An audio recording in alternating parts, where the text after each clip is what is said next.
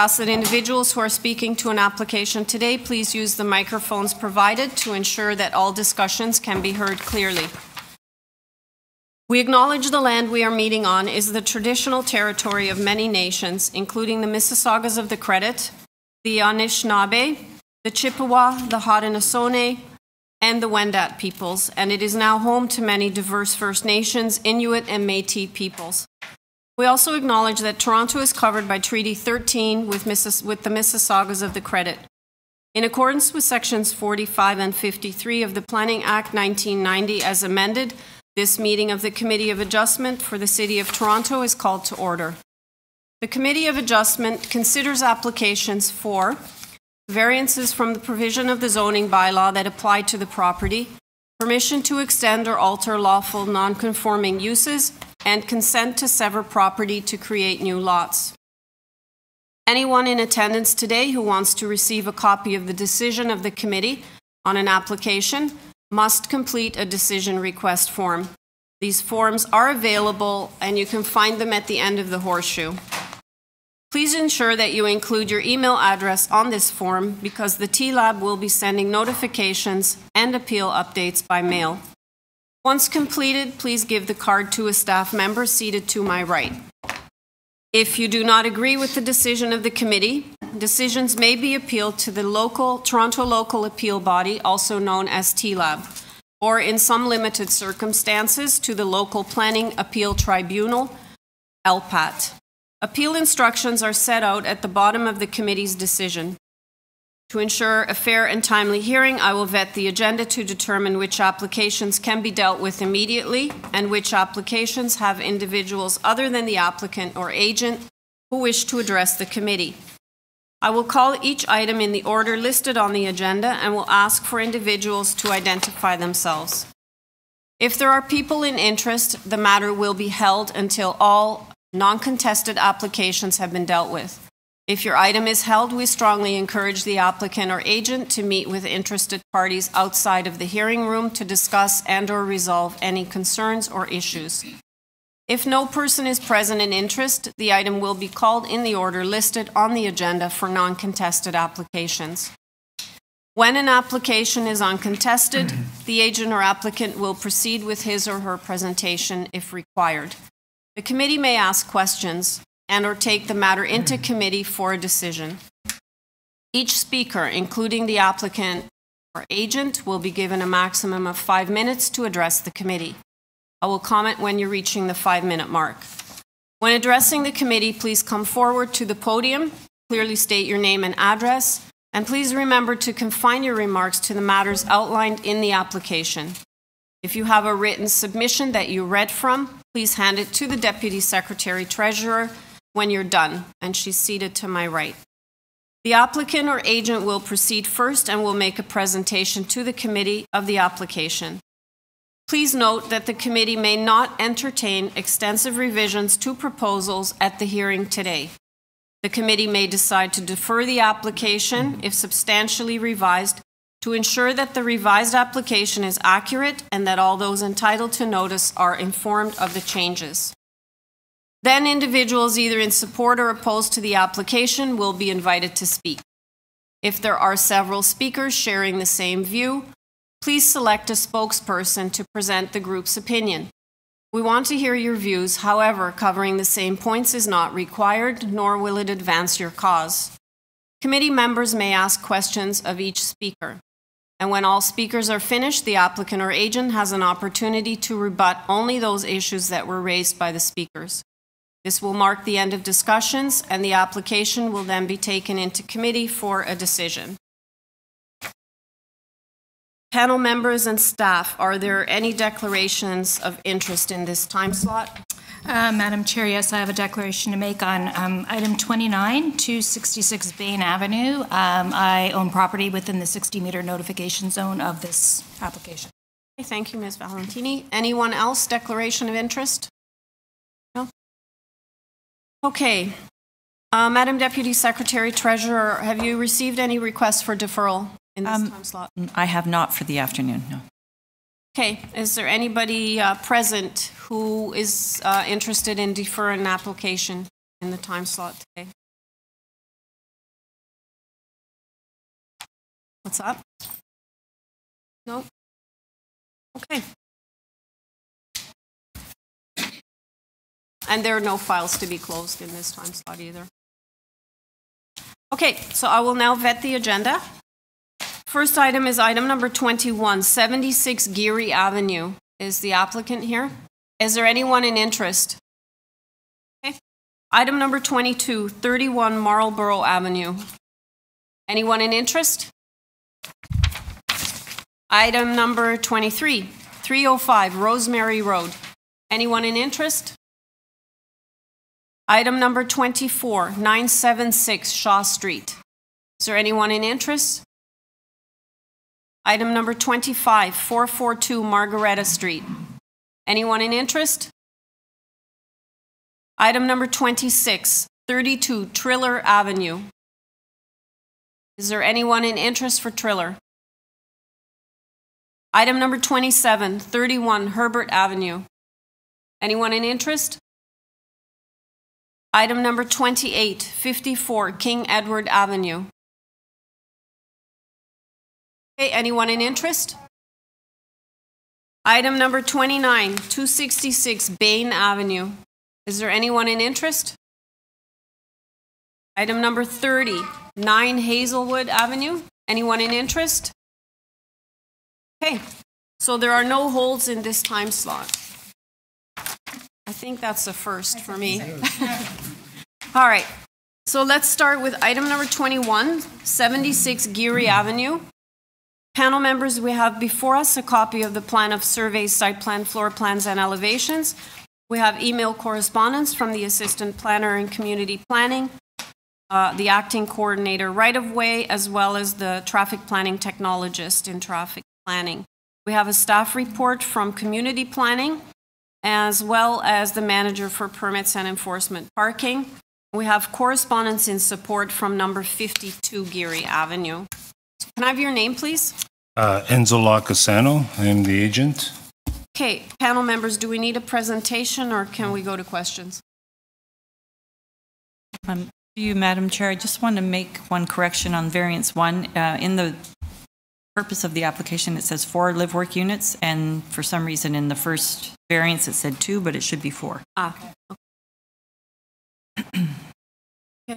Madam Chair, I also have uh, support letters for the oh, file. okay, I'll take those. So that's in addition to what we already have? Correct. Okay.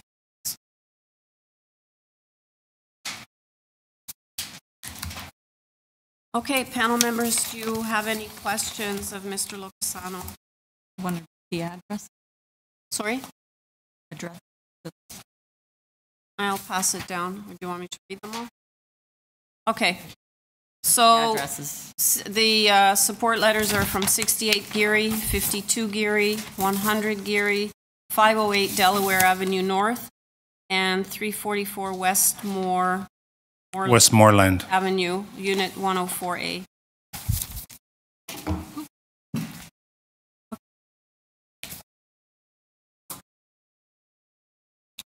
Questions? I have a question. I'm sure this, uh, have you, Mr. Lacasano, have you uh, looked at the planning department memo? Um, I haven't, I didn't see it uh, last night. I didn't check it this morning. Um, There is a memo. Here you have- We've been working with the planning department for over a year and a half. So Oh, that's interesting. There's a condition. Yes, we know the. Condition. Oh, you know the condition. Okay, so what is your view on the condition, the three-year time limit for the variance? I understand they're undertaking a study of the area. That's correct, for the three years, maximum three years. We know that. And are you, is your client okay with that? three-year? Yes. Then we will see you again in three years. And they're also asking that uh, the, any work done be done, constructed substantially in accordance with the plans? That's correct. With that from your view? No. No. The idea behind the three years was that the, the area, as you know, is changing very rapidly, and this is a very oddball uh, group of buildings which were residential back in the 50s. There were actually residential buildings sitting there. Uh, They were torn down, and over the years, that area became industrial. Uh, With that one residential piece left over, which is 68, which is in an R zone, which is quite interesting. Yeah, I have the, uh, the zoning map from the uh, zoning examiner that he sent me.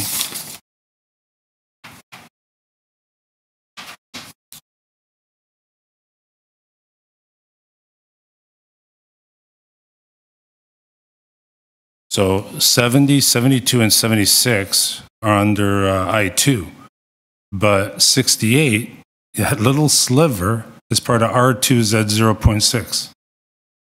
The, under the old bylaw, under the new bylaw, it's a RD, I believe.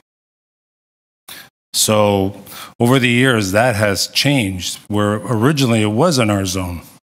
And then they got it changed, uh, I believe it was in the 70s. It was changed to an I2. Uh, and 68 was originally a residential building. Uh, and then they built the, in- the industrial part, or the industrial building. Um, we believe, I, I think it was in 2000? 68? Yeah, it was in 2000. So, again, we're not really touching the mass of the building. Uh, the parking, we believe, is, should be grandfathered in, because at some point, that parking was existing since the 50s. And there's a curb cut right across there. So that's something we'll have to talk to Transportation and Works.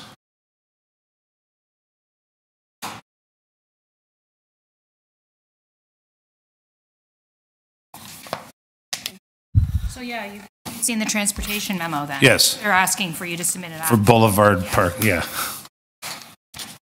We'll, we'll have to deal with them.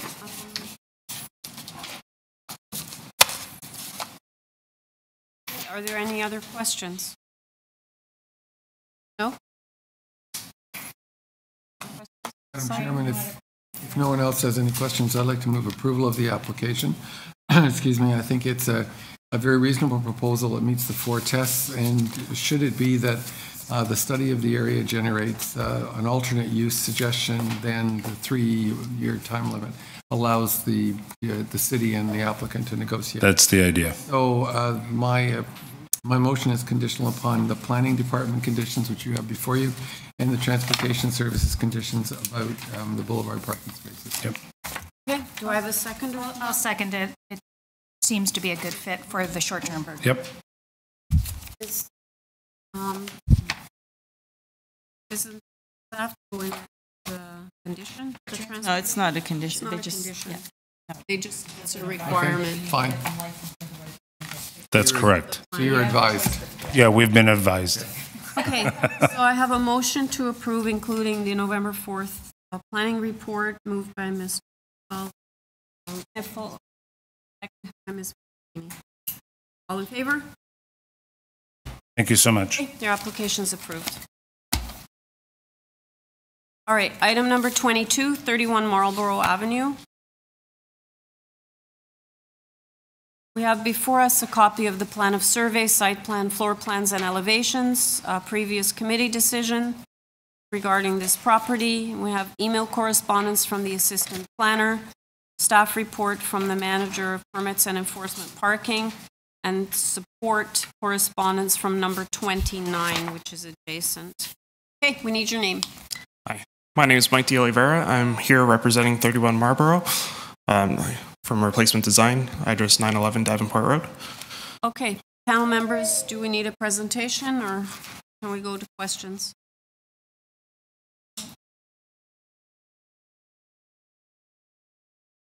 I just have one question. There was a previous approval for 1.09 FSI. Is that what the, pro- what it is now?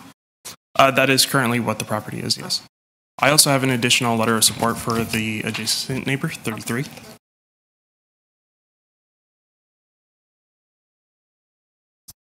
Oh, there's six different addresses? Oh, one for all of us. There you go. I only need one. Thanks. No, just take one there. Oh, I was gonna give her this. Okay. So this, um, this is the owner of number 30. And are you familiar with the- what the Transportation Services Department is requesting in terms of restoring the uh, paved area on the city boulevard to soft landscape? Yes, we are aware. Anybody has any other questions? No? Uh, I'm prepared to bring a motion forward on this matter for approval. Um, In my view, this meets the four tests. We've heard that the uh, GFA is currently at 1.09, and I don't see the, it it going up to 1.15 is minor in my view. Um, And my motion for approval is subject to the conditions set out in the Transportation Services memo about restoring the boulevard to softscaping. Okay, Okay. I have a motion to approve, including the transportation condition. Second, or moved by Ms. Valentini, second by Mr. Cole. All in. Okay, the applications are, All right. Thank you very much. Okay. thank you. Item number 23, 305 Rosemary Road. We have before us a copy of the plan of survey, site plan, floor plans, and elevations, and no correspondence. Have your name, please? First name Gabe, last name Faraone. Sorry, how do you spell your last name? F is in Frank, A R A O N E. Farone. Barone. Yeah. Thank you. Uh, Panel members, do you need a presentation, or can we go to questions? Okay, do we have any questions?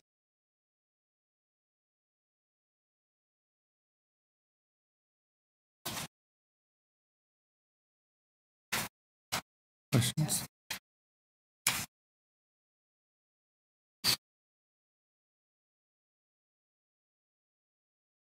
A lot of large. Yeah. Madam Chairman, if no one has any questions, I'd like to move approval of the application without conditions. I think it's a very straightforward application, clearly meets the four tests. Do you have a seconder? Okay, have a motion to approve, moved by Mr. Nifel, seconded by Ms. Larson. All in favor? Okay. Thank you. Have a good day. Thank you. Okay, the next item is item number 24, 976 Shaw Street. Panel members, we have before us a copy of the plan of survey, site plan, floor plans, and elevations, and we have a staff report from permit for parking. All right, can we have your name, please? Yes, thank you. My name is Joseph Mazzatelli. Okay, um, panel members, do you need a presentation or can we go straight to questions?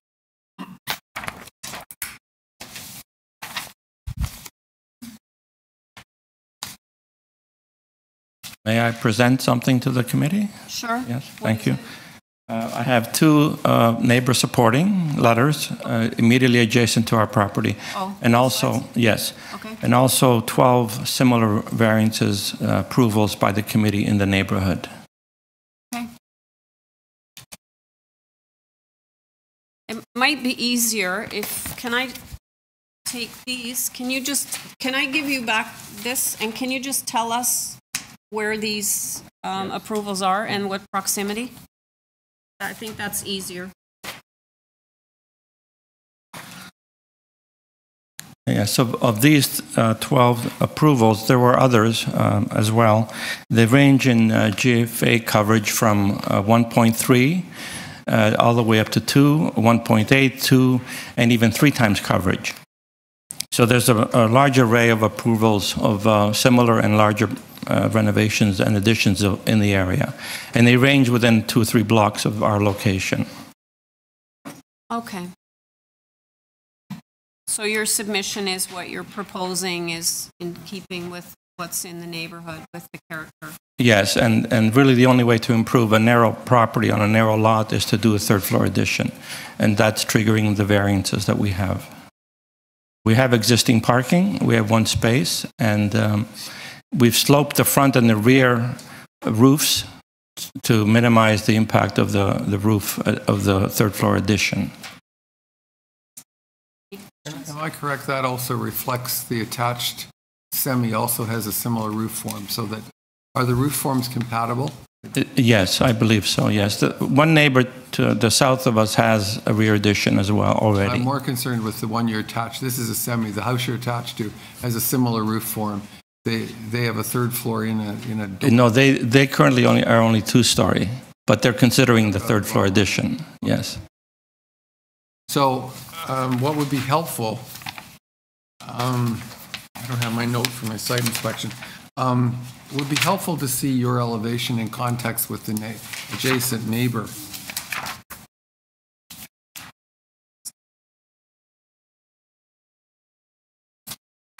I'm, I'm concerned, as we always are, when we have semi-detached that they fit with one another. So do you have anything that shows how this elevation treatment relates to what you're talking No, I've only drawn our, our proposal.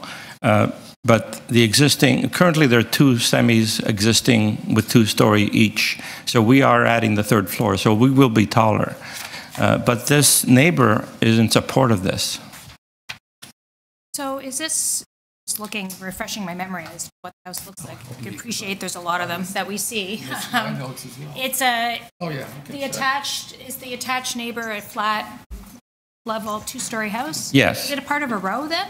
It looks like there's a. It looks like there's three, uh, one is not, uh, it's, it's a, I'm not sure if it's a row house, but it's, it's three dwellings that are very close to each other, yes. Two Oh, are okay. definitely semis, So one semi and then one that's attached somewhat, attached, but yes. Looks like it's attached. And the attached neighbor has no objection. That's right, he's supporting it in the letter. Is it undergoing renovations right now, the attached neighbor? They're, do- I think they're doing internal renovations. And what about the neighbor on the other side? He's also supporting us. How will the height compare? He's a three, st- he, he he is a three-story, yes. And will the height be com- comparable? We will, we will be similar to him, yes. Um, did have another. In terms of floor space index, you've indicated that there are others in the neighborhood that this is Yes, we're, we're asking 1.62, and, and all the, the 12 approved variances that I've, uh, I have with me range from 1.6 to 1.8 to 2, and so even three times coverage in the About neighborhood. Current dwellings in the neighborhood, may, you know, neighbors and so forth, have- ha- don't have variances. How do most houses, are most houses over the, ex- Well, There's, there's um, a neighbor about six houses away, and he's, I think, at 1.3. okay. Uh, We're asking for 1.62. So it's not uncommon to have a third floor addition. You're going to match the building that you're not attached. attached. Flat roof one, and then beside it is another, Yes, yes. Any other questions? Panel members? What, what's the existing GFA right now? Uh, We're already slightly over, we're 1.05 already. Oh, you're already at 1.0. It's already slightly over. I mean, because the permitted is 0.6, so Yes, you're well yes. over what's permitted right Yes. now as of the existing. Yes, we're already, and, and really all the houses are over. Yes. Okay. It should really be one times coverage.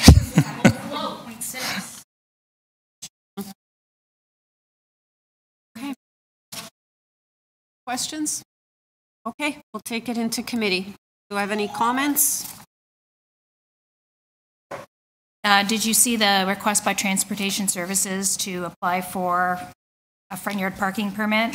to Yes, but, but they support it. We, we do that annually. Need to go in, because I guess if if there's a change in ownership. Yes, no, that, the owners are very interested in doing that, yes. Thank you. Nobody else has any other questions. I'm prepared to bring a motion forward. And, and one last comment, the city planner is not objecting, so, yes. Yep. Um, My motion is going to be for approval of the application. I initially, on the face of it, the numbers do look high, but you've explained and satisfied my concern about the FSI. Um, It seems to be compatible with other variances in the neighborhood, and in fact, the existing house is well over the permitted FSI, so you've alleviated any concerns I've had about that. As well, I think it will be uh, Although it'll differ from the attached neighbor, it will be compatible with the neighbor next door in terms of heights. And, um, and I believe uh, you're proposing a sloped roof at the front? Yes, So that'll minimize any impact um, from that. So I'm happy to bring forward a motion for approval. I feel it meets the four tests, and I don't think the transportation, No. it's a con- just advisory, so, it's not a condition. no, without conditions. Okay, do I have a seconder? Okay. I have a motion to approve, moved by Ms. Valentini, seconded by Mr. Bayat. All in favor? Your application is approved. Thank you. The next item is item number 25, 442 Margueretta Street. Panel members, we have before us a copy of the plan of survey, site plan, floor plans, and elevations, and a previous decision that affects this um, property. Can I have your name, please? My name is David Stickney. I'm the agent for the owner. Okay, panel members, uh, it's pretty straightforward. Do we need an applica, or a uh, presentation here? Uh, Anyone ready to move a motion? Question? I don't think No. so. Madam Chairman, I'd like to bring a motion of approval without condition. I think it is uh, very straightforward, clearly meets the test for variance and fits into the neighborhood. Okay, motion to approve, moved by Mr. Nichols, seconded by Ms. Larson. All in favor? Your is approved. Thank you, Madam Chair. Okay, item 26, 32 Triller Avenue.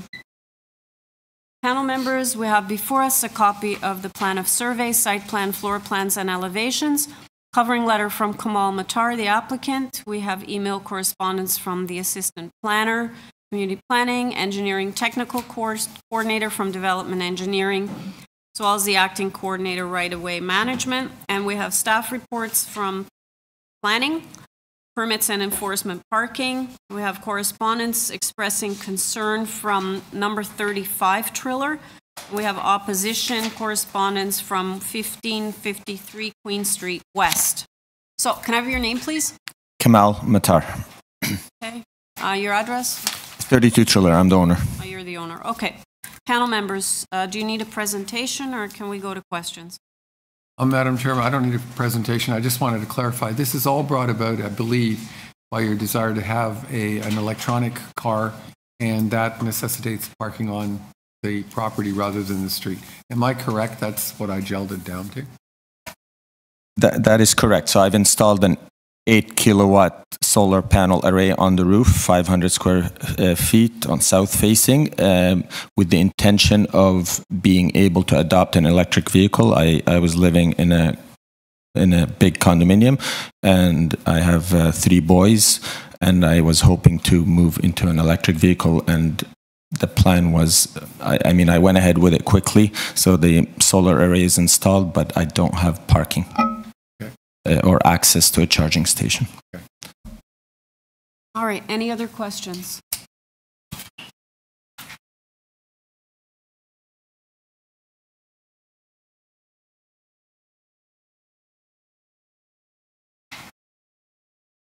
So, um,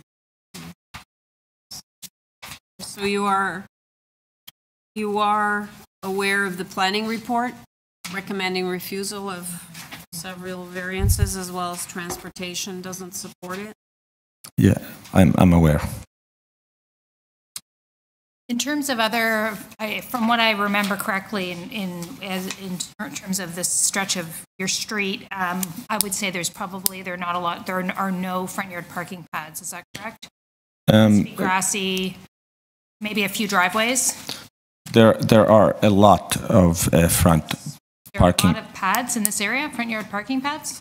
yes on on triller avenue and the adjacent uh, street wilson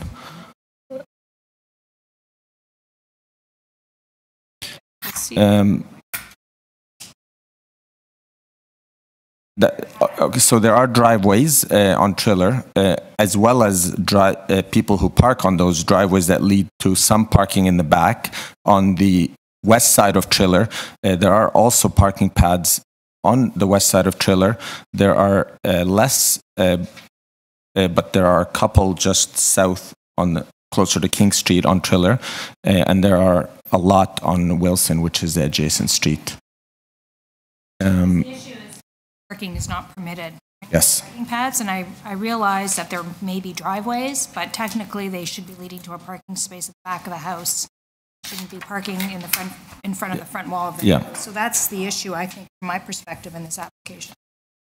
Is, Th- th- There are both. Um, I, I, I, I did have some um, professional Google images that would point those out. Um, um, In addition, the, the other concern that I have is that by um, using a front yard parking space, you need access to that, and you're effectively removing one on-street parking space. And the on-street parking space would be available to anyone, whereas the one in your front yard is only available to you. And one would argue, I would think, um, that that's somewhat discriminatory, that in terms of the neighborhood, you've lost a parking space. Do you have any comment about that? So, so my only comment to that is a- all the houses in the neighborhood have laneway access and a garage. Because mine is adjacent to a condominium in the in the back side on the um, west side, um, I don't have any laneway access. In fact, I have a large lot where the the footprint of the house is only about one quarter of the lot. I, uh, because there is no garage in the back, there's no laneway access, so I have a big green space, um, massive trees. Uh, I have four, well, three Japanese maples in the front, um, but I, I'm. It's a distinct house. It's practically, uh, from my examination, it's the only house in the neighborhood without parking either. Um, all of them have rear parking or and or laneway access, and, and many of them have front pad parking as well. In addition to, And yours is unique in that you have neither. You don't, you don't have parking. it, it's unique in that it's a Can't drive around detached. Side yard to get to the back, can you? It's not. Correct. There's no uh, rear access because of the proximity to the to the neighbor. You only have about about uh, 12 to 18 inches on one side and about 36, um, well, three feet on the other side. So there is no rear access and there is no laneway access. I, I just have an overhead, but can you, you can put it on the overhead, but where's the laneway? I can't even see how you get into a laneway behind. You- If you want to put it on the overhead and draw it in, that would be good.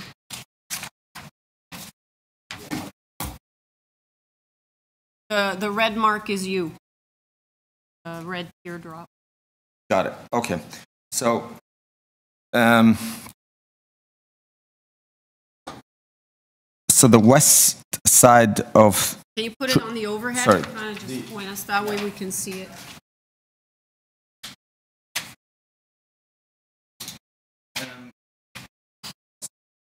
The side of Triller Avenue has a laneway back back here. In fact, these all hard to see here, but this this here is access to the laneway. Um, next to me, there's a uh, there's a you can subtle, but this is the access to the back where they have parking in the back. Uh, back here and back this is pad parking and and access in the back. Um, The one on the left, where, where you just said it's the, the, yeah, the left, that house right there? Yes. So that there's a driveway, and then are you saying they've widened it in the front and they're using it as a parking pad? that is correct. It's it's it's parking for both houses. Um, the one.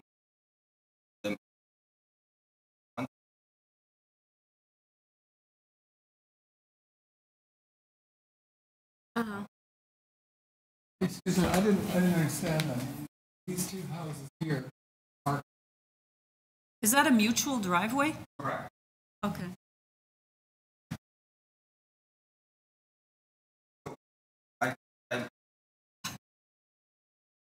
Access back, but only for this condominium building. It's, Right. uh,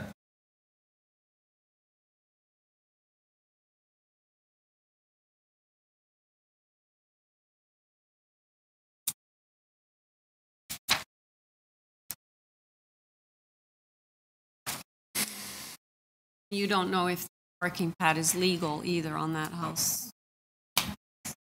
Yeah. I, I just moved in six months ago, Yeah, so it's- they were all Quite possible that that's not a legal spot. they most likely were grandfathered in. I don't I don't know when it became prohibited to have front pad I'm, parking. I'm guessing it was like that at the beginning because area, so I don't know.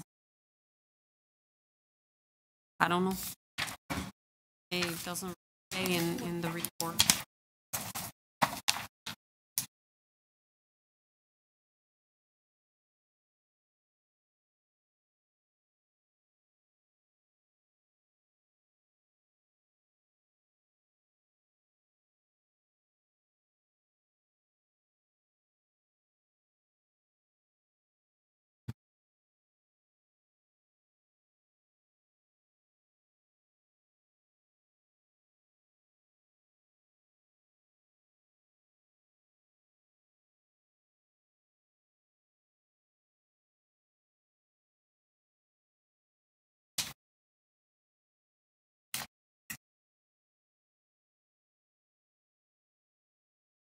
Yeah, so, okay, so the, the bottom line is, is even if the variances are granted, you're not gonna get a legal parking spot, so it's gonna. For you, Madam Chair, if you grant the variance for the front yard parking, then right-of-way management would be forced to give them access all over the boulevard. So the municipal code only governs the city portion of the, of the front yard, which is the boulevard, and they don't want anyone parking on the boulevard. The city could,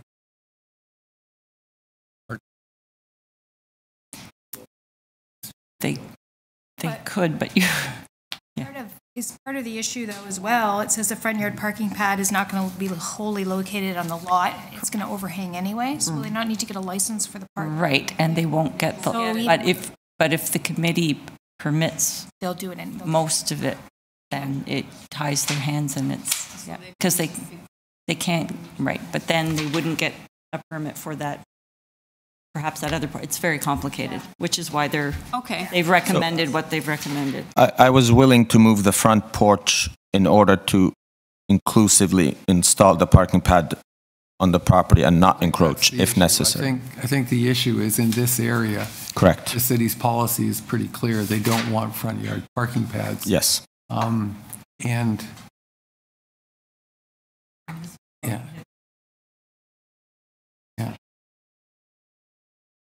Madam It's a Chairman, Double whammy. yeah, if, does anyone have any questions? Sorry. I don't see how. I, I don't see how we can improve this. I, as much as I applaud your, um, your intent to use solar vehicle, which I think in the long run is an extremely good idea. Um, given the restrictions in this area, I don't think that's going to be possible in this area, and therefore I'm going to move that the application not be approved.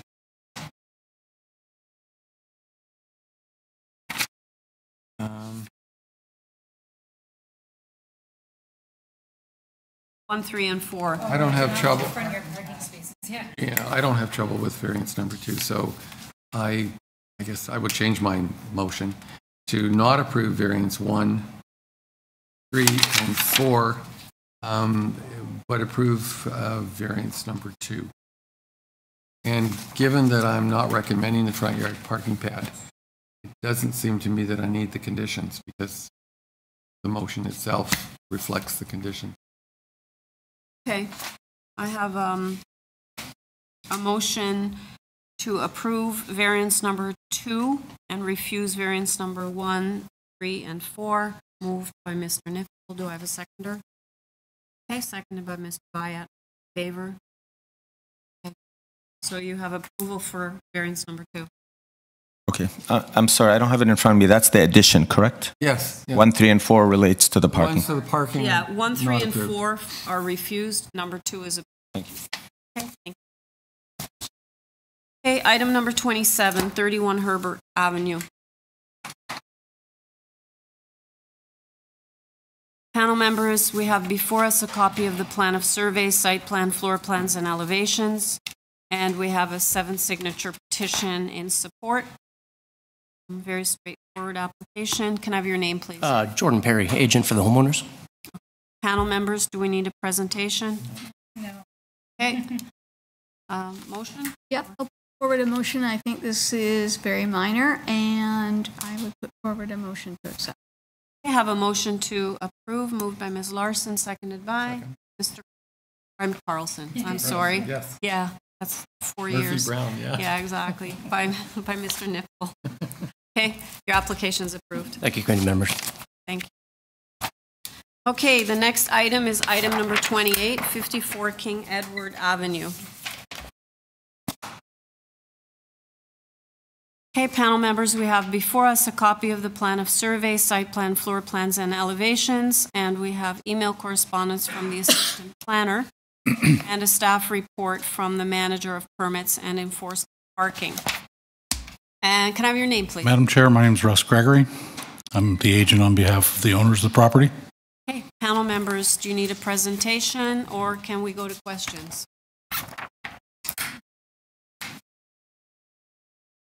Okay, does anyone have any questions?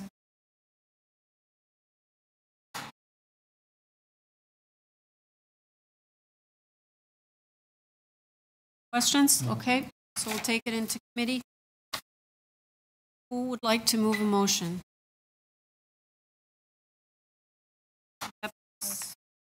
Stop.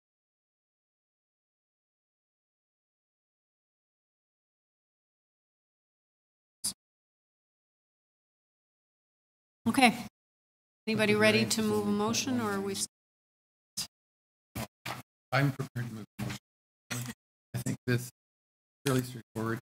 Uh, Clearly meets the tests, and um, I- again, I believe fits into the community. So I'm moving approval of the application. Um, There's a comment for transportation services which you need to know about, that if you make any changes, you must uh, apply for permits for transportation services, but I assume you know that. Yes, I understand. Okay, I have a motion to approve, moved by Mr. Niffel. Do I have a seconder? Okay, Ms. Valenti, Valentini, all in favor? Okay, your application's Thank you. approved. Ah, okay. Ms. Valentini has a conflict. So the next item is 266 Bain Avenue. Okay, we have before us a copy of the plan of survey, site plan, floor plans, and elevations. We have an em- email from the assistant planner, community planning, a staff report from the director, community planning, and six form letters in support. Okay, your name, please? Good afternoon, Madam Chair. My name is Marin Zabzuni. I'm the agent for the homeowners.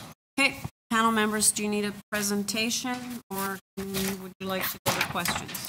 I don't need a presentation. Anybody need a presentation? Okay, does anyone have any questions? Are you aware of the planning department recommendation? Yes, You agreeing with it? yes. Madam Chairman, if, uh, did you have a question? I don't have a question, though. If no one else has any questions, I'd like to uh, move approval of the application subject to the condition recommended by community planning. Um, I believe that clearly meets the four tests um, and is consistent with the character of the community. Okay, do I have a second? seconder? Okay, motion to approve, moved by by Mr. Nifel, seconded by Mr. Bayat. All in favor? Application's approved. Thank you. Item number 30, 9 Hazelwood Avenue. Okay, we have before us a copy of the plan of survey, site plan, floor plans, and elevations, and we have one form letter in support, signed by number seven, adjacent to the property, and we need your name. Uh, Excuse me. Good afternoon, Madam Chair, members of committee. My name is uh, David Smith. I'm here representing the homeowners at 9 Hazelwood Avenue. Okay, do we need a presentation, panel members? No? Do we have any questions?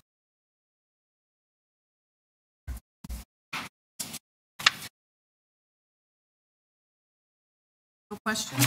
No? I'm prepared to bring a motion on this matter. I've reviewed all the materials. Um, In my view, this meets the four tests for minor variance. So I'm bringing forward a motion for approval of the application without any conditions. Second motion. Okay, motion to approve, moved by Ms. Valentini, seconded by Mr. Nipple. All in favor? Your application's approved. Thank you very much. Okay, so we're adjourned till 2:30.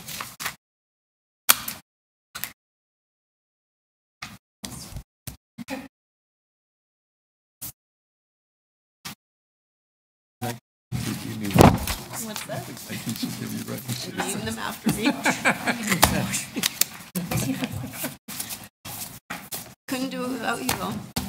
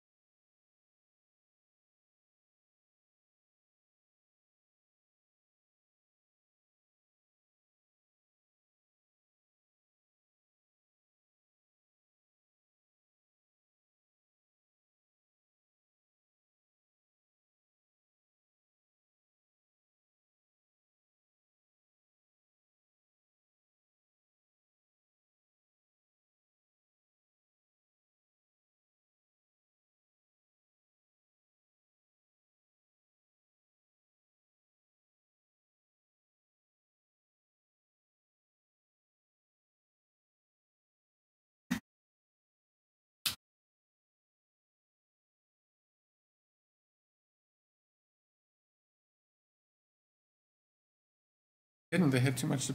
Oh, Gotta I know, it's, a- yeah, okay. I should have asked Nancy. I realized she's got one. Oh, does she? You know, we. I don't own one. I like them, but I don't. I don't understand them. But I don't understand a lot of things. We went through the uh, center. They have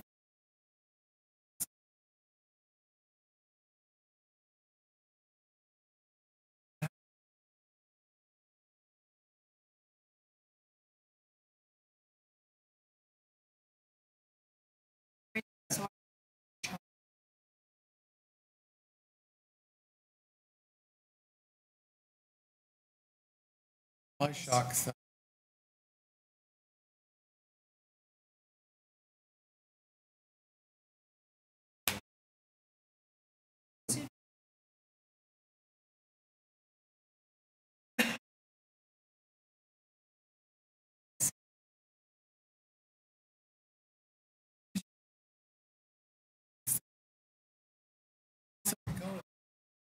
He's- and, it's a little bit of lace and a little bit of this, and it was eighty nine dollars. And then I, I, I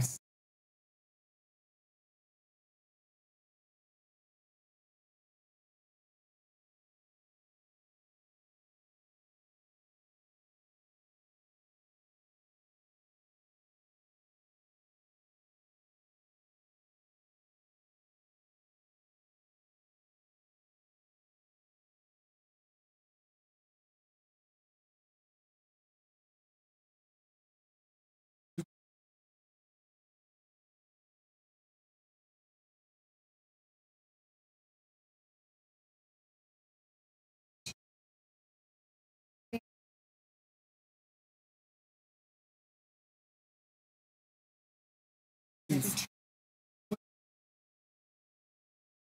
They don't have a lot of. actually, but at the end, you Yeah, that's what I mean, yeah. it's- it's-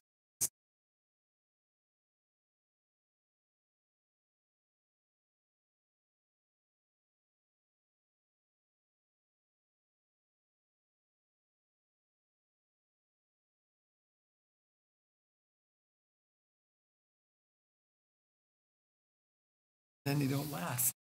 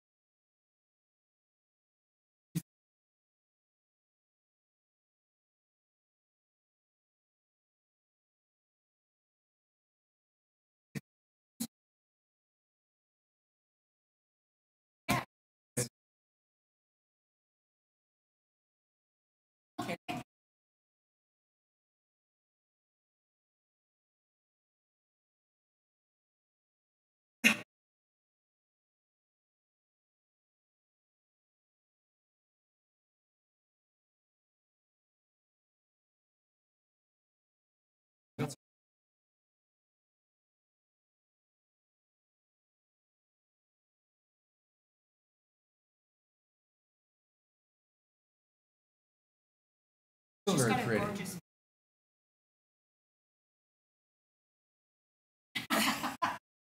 Very pretty.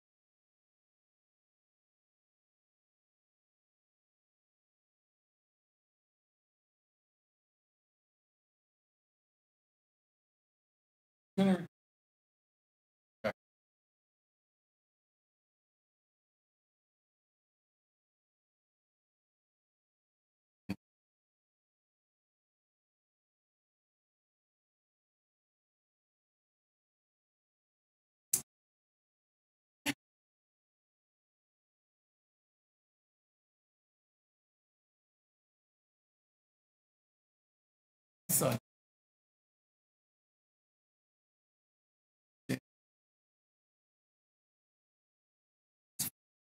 He's been in love with her ever since. Aww. Yeah.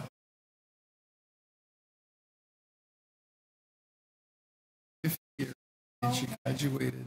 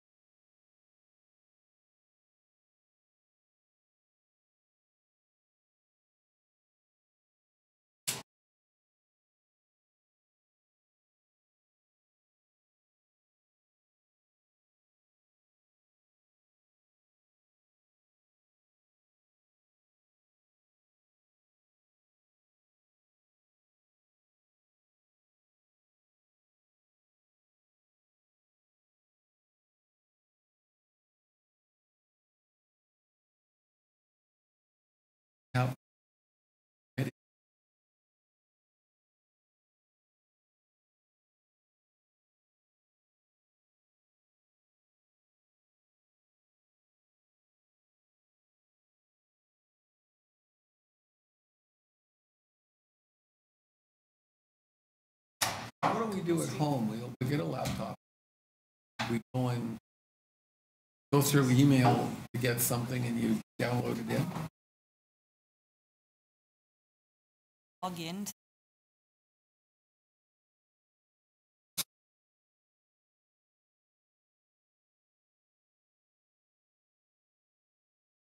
But if, it's here, will we get them at the same time? Will we get them on the Friday before?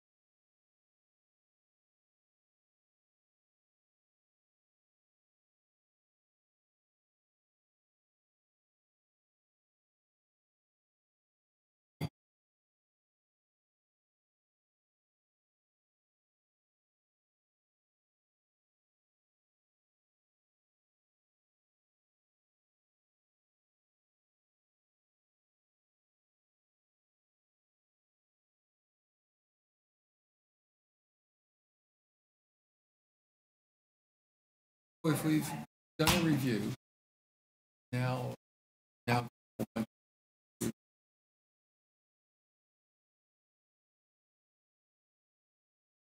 We're gonna have.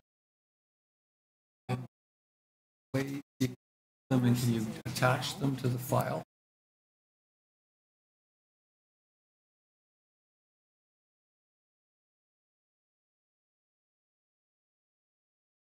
You'll have to know. So, like, so we're in item number 18, and you send us a late number 18 planning report.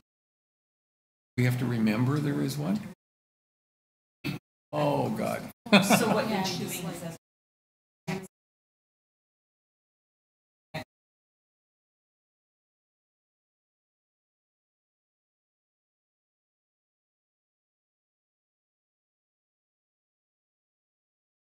We're gonna miss what we're getting used to. We're gonna miss.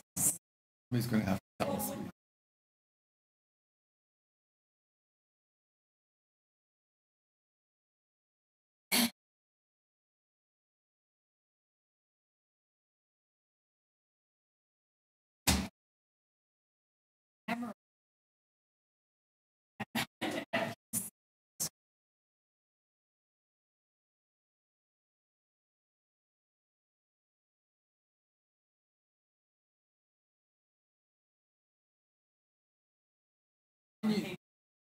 Make notes. We both make, I make notes and that's how.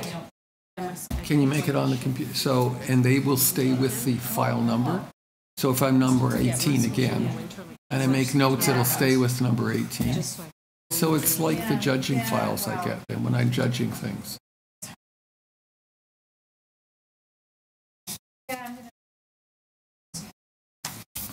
Actually, my partner thought that that one was virus, so he erased it. Okay. Latest times.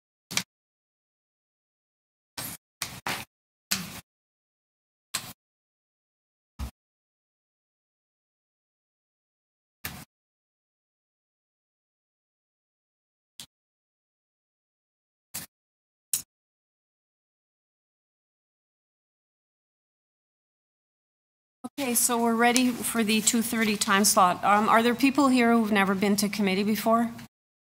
Yes? I'll give you a a really brief synopsis, okay?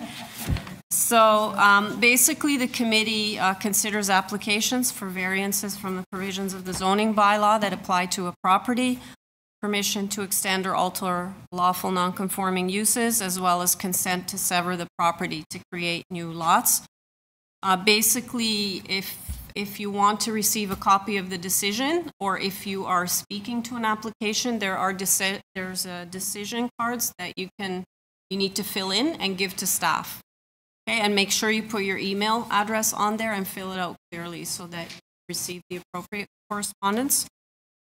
And um, so if you don't agree with the committee's decision, you can appeal it to the Toronto Local Appeal Body, which is called the T-Lab. Um, In some circumstances, it goes to a, a different body called the Local Planning Appeal, Appeal Tribunal, but most of our decisions get appealed to T-Lab.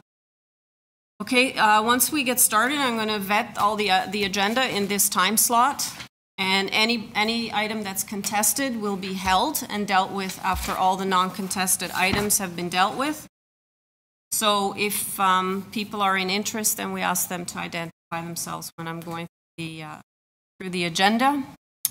And if an application is uncontested, we may ask for a presentation, or we may just ask questions, or we may just make a decision if it's a straightforward application.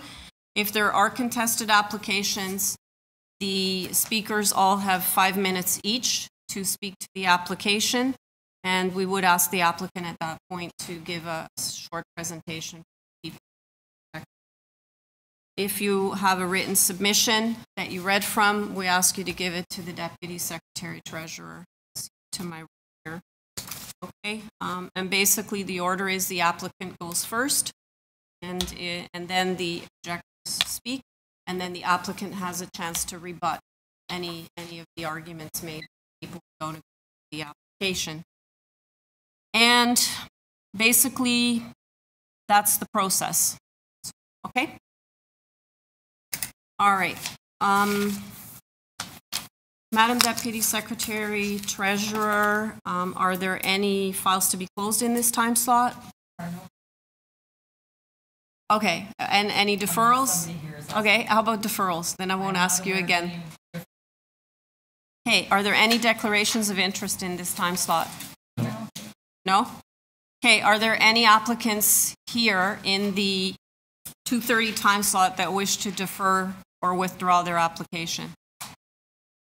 No? Okay. So I will now vet the agenda. So the first item is item number 31, 35 Old Forest Hill Road. And I'm just vetting right now. So you're here, right? All right, is there anybody here in interest? Nope. Item number 32, 234 Pape Avenue. Is the applicant here? Anybody in interest? Item 33, 55 Yonge Street. Anybody in interest? Item 34, 188 Arlington Avenue. Anybody in interest? 35, 102 Robina Avenue. Anyone in interest? 36, 29 Queensdale Avenue. Anybody in interest? Item number 37, 8 Rusholme Park Crescent. Anyone in interest? Item number 38, 962 St. Clarens Avenue. Anyone in interest? Item number 39, 516 Markham Street. Okay, anyone in interest? And number 40, 78 Gormley Avenue. Okay, anyone in interest? Yes? You're opposing? No. Are you speak, do you, are you, are you the owner or you're just here? Okay. So, once again, there are no holds in this time slot. So we'll, yeah. So we'll start with item number 31, 35 Old Forest Road. Sorry, Old Forest Hill Road. And panel members, we have before us a copy of the plan of survey, site plan, floor plans, and elevations, and a previous decision that affects the property. So we need your name and your address. Uh, my name is Laith El Bahrani, and I'm the uh, agent uh, representing the owner. Okay, panel members, do we need a presentation or can we go straight to? We have two letters of support, actually. Sorry? Two letters of support. Okay, I'll take those.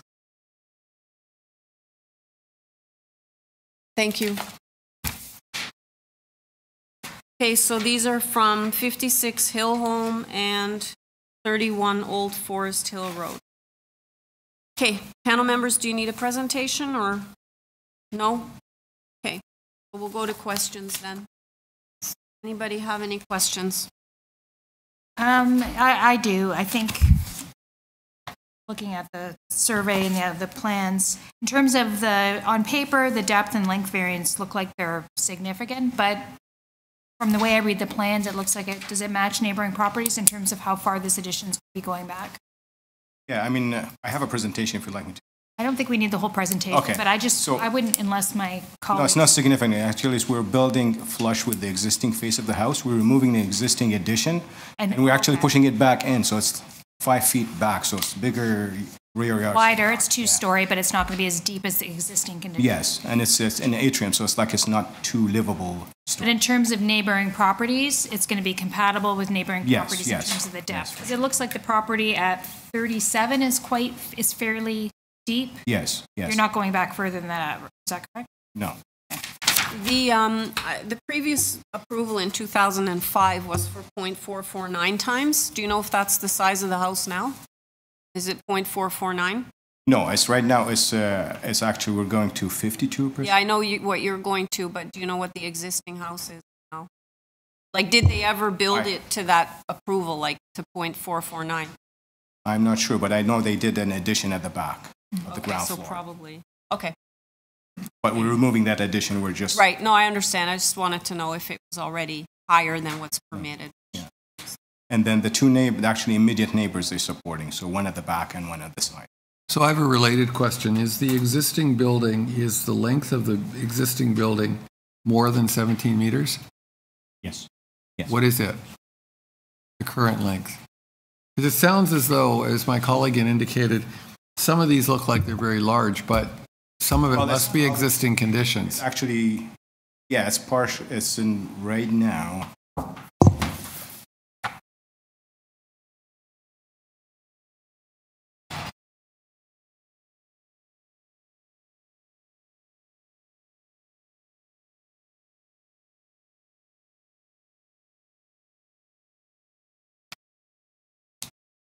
Use a scale just to sort of check. Just roughly is fine. I just, I'm just assuming you're over the bylaw already. It is, yeah. I mean, it's, the, we're going further in from the existing, so we're reducing the sort of uh, set. I think the only thing is we're having a sort of a, um, a basement ex- uh, addition, the basement, and the terrace is sort of going back. Goes out further. So, which is less than uh, four feet in height from the grade, so.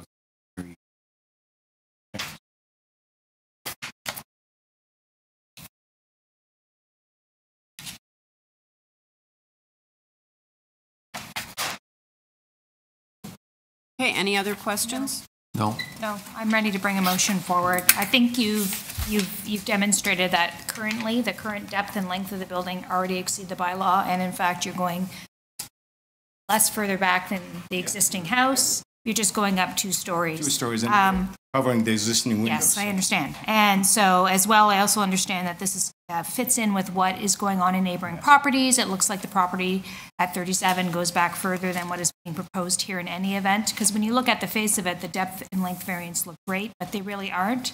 I'm of the view that they meet the four tests. They're compatible with what's going on in the neighborhood, and they fit wi- well within neighboring, with neighboring properties. So my motion is going to be for approval of the application. I have a motion to approve the application moved by Ms. Valentini, seconded by Mr. Nifel. All in favor? Your application is approved. Thank you. Okay. All right, the next item is 234 Pape Avenue. Panel members, we have before us a copy of the plan of survey, site plan, floor plans, and elevations, and correspondence expressing concern from number 232 Pape. Name. Jeff Karkowski, 234 Pape Avenue. Great. panel members, do you need a presentation, or can we go to questions? Oh, I just, I have a question if no one needs a presentation. Um, My only notes in going through your application were that there appears to be a privacy issue with the deck. Have you got any proposals for um, screening the deck from your neighbors? Uh, we do. So we spoke to the neighbors, and their concern was just that it wouldn't be a glass railing, and, and it's not actually planned to be a glass glass railing. It's meant to be closed off, and we do propose a, a privacy screen on our on our neighbor on the other side as well. Do you have, because I'd like to put that in a motion. Is it, how big is the screen and what is it made of? Oh, um, the front. Uh, well, the plan is to have a sort of a closed, closed kind of not a railing. It's supposed to be an enclosed parapet. Parapet, so it'll be sort of a closed-in front, uh, a solid um, wood front as well. And I think we had shown in the drawing um,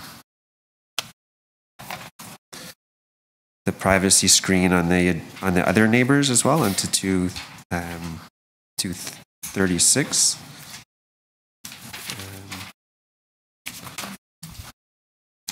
There a drawing we can reference, like which drawing? Uh, there, is- sorry, drawing on the elevation show the drawings um, that there is Which number are you looking at? um, A4 and A5 as well. So it shows the height, um, That's only three feet high, right? uh, three feet Oh, I, well, six inches. Yeah. I've got my glasses on, but I can't. Yeah, I can't see it at all, so. Thank you. Uh, sorry, yeah, three feet six inches uh, is the height of the railing. And the neighbor, when we spoke to them, they were fine with sort of a closed in because they were worried that it was a glass uh, glass railing. So this is a, a, a closed in wooden closed in uh, railing.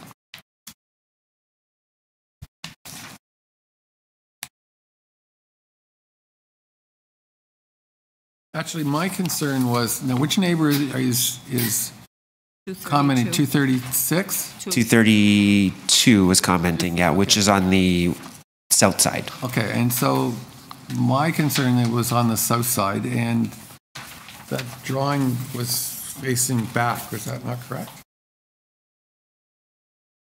My proposal is that you put a screen along the south side of the Sure. deck, but it should be, we have a standard, and I don't have it with me, 1.5. 1.5 meters from the bottom of the deck to the top, and it should be translucent or transparent, or translucent, sorry. Okay. Or opaque, sorry. Um, Because I think that clearly is an intrusion into, you know, and I'm not recommending you put it all the way around the deck because then it'll be horrible to be on the deck. Yeah. Um, But I think that uh, to the south, that's, that's a problem. Okay. So do you have a problem with No, that's fine. We were planning that it may not be in here, I guess, but yeah, that was certainly the plan because it's the same. We're facing Okay. on the south side neighbors. Okay, any other concerns, questions? Madam Chairman, if no one else has any questions, I'd like to bring forward a motion of approval subject to a condition requiring um, opaque screening on the south side of the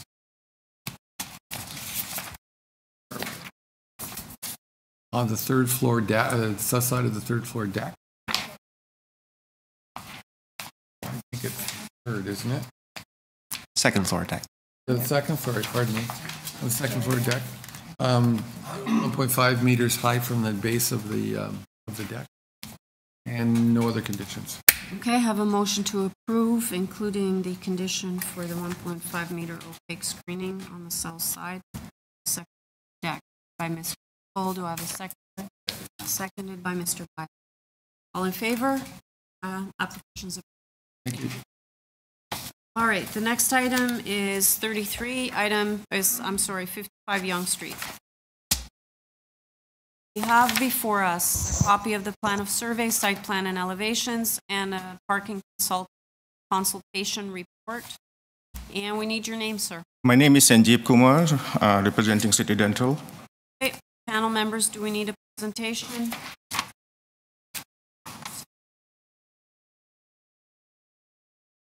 Sir, mine, sorry, go ahead. No, ahead. I think we're going to ask the same questions. You go ahead, go ahead, go ahead. question. I guess, I guess our question, I'm assuming we have the same question, but my question relates to the parking calculation notes that are in, included in the package.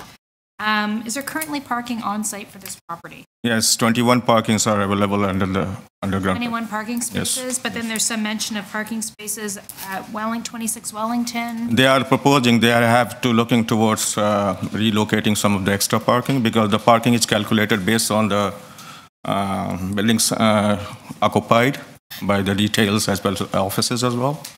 So they have thinking about that. But 21 spaces is less than what you require on this building, right? Yes. By, Building is 12, 12 stories building already built. you need 55, right? Yes, as per whatever they occupied. And uh, So you're already deficient 34 spaces. no, I'm uh, I'm just uh, representing here for uh, ground uh, unit number 100, which is going to be a dental office. So as per that uh, requirement, one parking is needed. And build. For me, the confusion is, is the, I don't have an issue with the one parking space given where it's located. There's plenty of parking around the downtown core in lots. It was the reference to the deficiency in parking of, how many spaces? I'm sorry, 21 or? 34. 34, thank you. Um, I think that's where the confusion lies. I don't know if it's relevant to this application, but Is overall parking uh, requirement total building? Because yeah, it's 55 spaces. yes. But the site is. site site just uh, having 21 right now underground parking. So, is that a non-conforming use, or what's, I, I don't understand how you can be deficient 34 spaces. because based on the based on the GFA it is calculated, right? Um, I'm not sure some of some of the um, offices are vacant or something because they provided us the details and offices based on the calculation as per city by law. We required that number of parking, and they have right now 21 at the site. I'm, I'm a little confused. thank you, 'cause as I to thought the- I- Like, so I'm confused as to the relevance of this parking study slash report. Be, like, to the, to this actual application. Because you, you say you're speaking on behalf of the dental office and Yes. going into the units. That, that is deficient, one spot. One spot, yeah. So I don't, like, I think, I'm not sure we really needed this report because it's kind of making us think you're deficient. Actually, the zoning department asked for the report, how many parkers, determine how many parking needed and something like that, and calculate the particular unit parking uh, requirement as well. Right, but we're not here discussing the rest of the. def- Yeah, we're not, We're here just talking about one spot. yes, yes, For a building that's on Yonge Street, yeah. right? But you were asked to provide that study for the building as a. Whole building, whole, as a whole. Right, okay. For context. Context purposes, but it confused us, that's all. Um, So you're looking to transfer the difference between 21 spots and 55 over to Wellington. Yeah, that's the property manager uh, addressed us in an So email. that 34 spots you were thinking to try and um, put onto the Wellington site. Is that Yeah, yeah.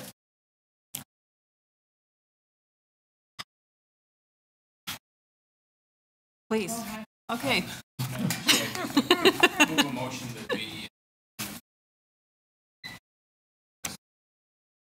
All right, I have a motion to approve the application um, as you feel it's appropriate. Meets the, meets the intent of the bylaws, uh, moved by Mr. Bayat. And Do I have a just to seconder? clarify, the variance specifically will say that no parking spaces will be provided for medical, dental, office. That's what I mean, that, that whole thing has nothing yeah. to do with this. Okay, I would second the motion. Okay, seconded by Mr. All in favor? It's approved, sir. Thank you. Okay. Item number 34, 188 Arlington Avenue. Panel members, we have before us a lot of stuff. Copy of the plan of survey, site plan, and elevations, a covering letter from Gabriel Guiducci, the agent, covering letter from Margaret Mahendarian and Julius Kaufman, the applicants. We have elevations uh, comparable of the subject property to adjacent properties, a list of the proposed variances plus photographs. We have email correspondence from the assistant planner, community planning. We have four form letters in support of um, three addresses on Arlington and 18 Graham Gardens. We have concern expressed from number 190, 189, and 183 Arlington. Um, Although looking at this now, it looks like the 183 also supported, so not sure. With here. And then we have correspondence in opposition, again, well, from 183 and 185 and 186 Arlington. Okay, we need your names. Yes, this is uh, Gabriel Guiducci. I'm the agent. All right, panel members, do you need a presentation or do you want to go with questions? I am. No? Okay. Okay, panel, uh, so do you have any questions? Um, First of all, thank you very much for this excellent drawing of showing the elevation in context. It doesn't have a number, so I'm, um, I'm at loss as to how to refer to it, that drawing. I can put it up if you wish. Yeah. Uh, can I uh, just give Now, you one more letter of support? accurate- I'm sorry? One more letter of support? Yeah, sure. Submit this. Okay, this is from 175.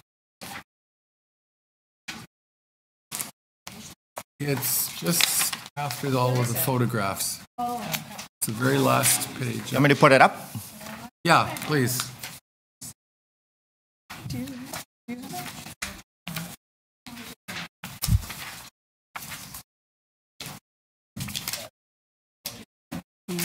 Yeah.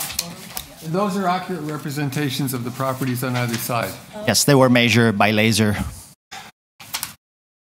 Can, I- just, I'd like to just take a moment to say why this kind of a drawing is really important.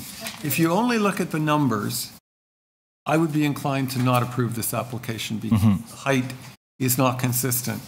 But when you look at the drawing of context, you realize that the, the, that's only true in one very small area because of the way the roofs form. So these kinds of drawings are very helpful in us evaluating the strength of the application. My, my feeling is that any approval, if there is an approval of this, needs to be tied to your front elevation because it's extremely important that you not just build anything according to these bylaws, but that you build what you've got before us. Yes, we're okay with that decision if that lead us to an approval. Uh, given your appreciation of these elevation, would I be able to show you also that, that massing in an horizontal point of view?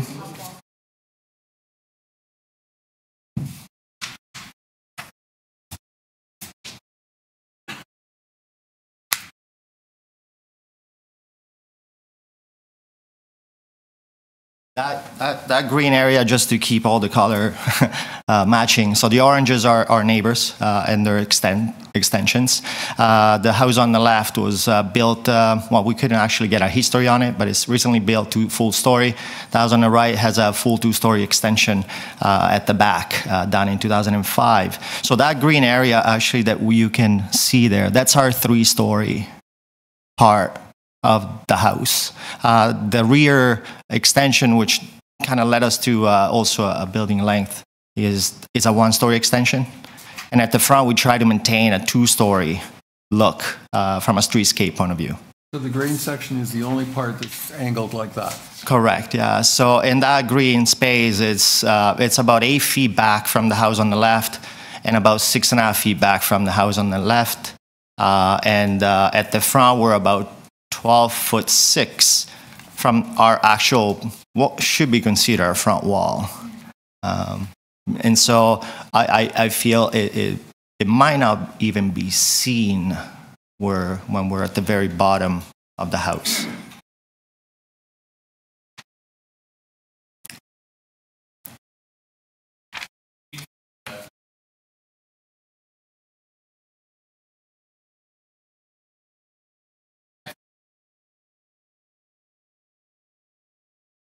Correct. Yes. It's about 12 meter and a half back from our actual front of the house. So it, it staggers back 12 foot and a half, and then we have these sort of triangular um, roof. Obviously, roofs in most cases are triangular. Um, we we thought, as I think was appreciated by uh, our committee member, um, it was the best way to have the least amount of impact in the neighborhood. Uh, we could have done a, maybe a more conventional frame or design roof. I think it would have been a, a more of an impact. Uh, the height in the area is still 11 meters. Uh, this is a wall height. It's only attaching to this sort of component. Uh, we feel that that front scape, front uh, yard, call it streetscape, uh, seem to be respecting what we have on both sides of us, and same with the rear. So it's a bit of a core of the house that extends a little higher than it should.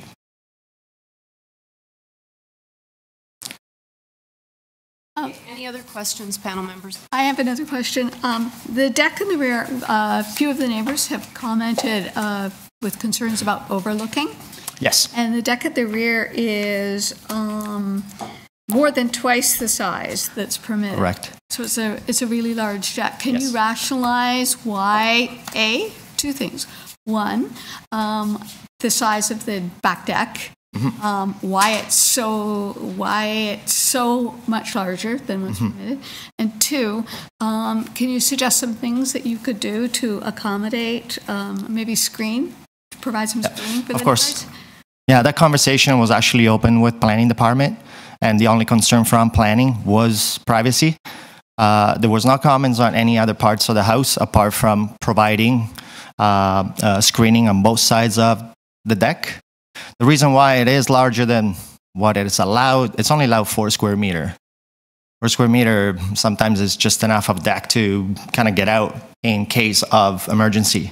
Uh, for a deck that uh, in this context that we have in design and lifestyle that we're trying to create out of this house, it's more of a sort of a step out deck where you can get a little more than just being safe, uh, and that is why the planning department has requested us to put fencing on it. Um, well, private, privacy fence on both sides. At the same time, as you can tell from the drawing, same, same drawing there, you can see how far back the balcony extends, uh, which in sort of on the left side, we don't even go further than their back wall. So we're kind of like tacked in between the neighbors' walls with that, with that deck. Do you have screen fencing on the deck drawing? Uh, yes, they were resubmitted to the committee with that change due to planning. Uh,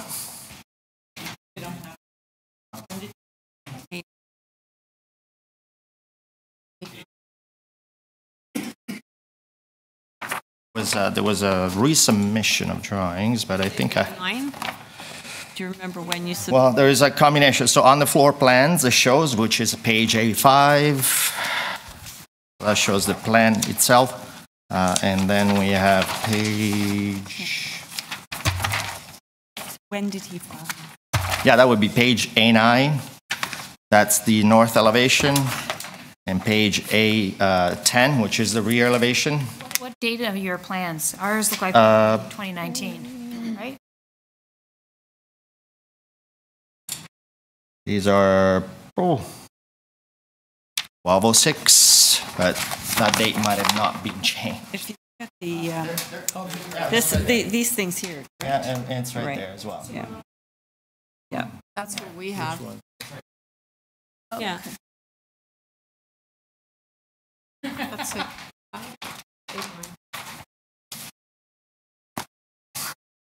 I can leave you this. Five feet 11 inches high. Part of it's a screen and part of it's behind the roof.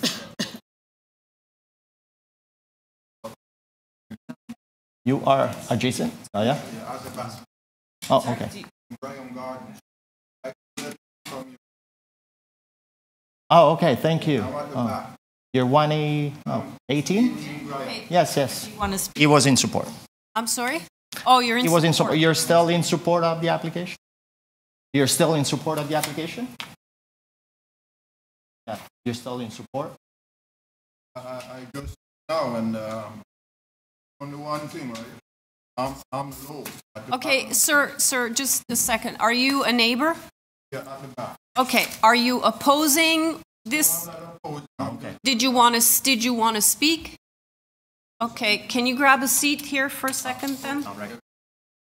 Okay, can we just clear up this screening first? So it's A9 is the, what, what are? A10, 11, Okay, so. and A8, all the elevations. Yeah, and those drawings were approved by planning department. Okay. So do you mind if we just listen to the neighbor's No, of course. concerns And then we'll come back to you? Yeah. Okay. So can you stand up to the podium and please give us your name and your address? Uh, g- Go to the podium. Yeah, yeah, where, Yeah. where he just came from.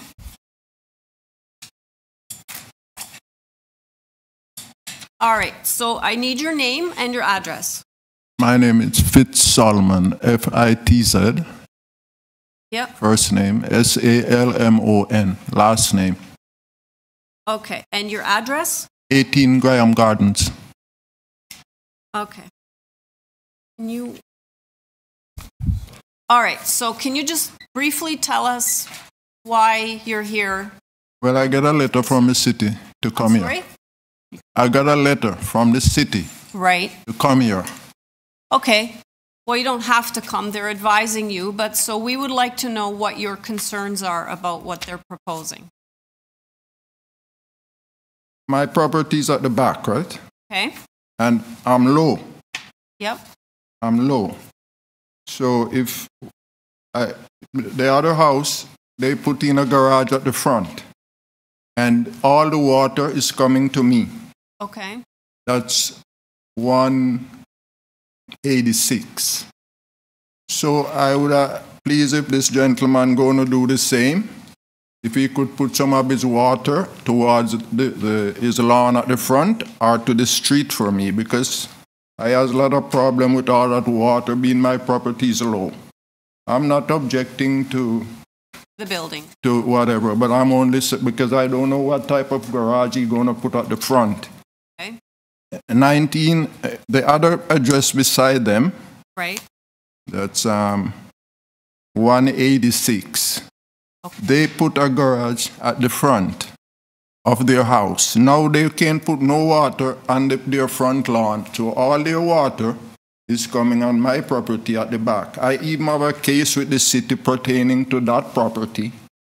So I'm not objecting anything. I'm just suggesting, you know, ma'am, if they put it, the garage at the front Yep. where they drive, they won't have nowhere to put their water to street. Well, All water will come on my property. So just a couple of things. They will be required to do a grading plan that needs approval at the city level. And we could put a condition in for permeable pavers for the driveway. That's if we, if we Because approve it. before, right, all these houses were made and the water went down in the, in the ground. and go to wherever. Right. The city gave permission to those people take out downsprout. Right. Now, my property, where I, I I live at 180, um, Graham Garden, you said? Yes, ma'am. I live at Graham Garden, but the house at 168, one, no, one, 186, that house, I don't know if that guy get permit from the city or what, because they just do what, what there, you know?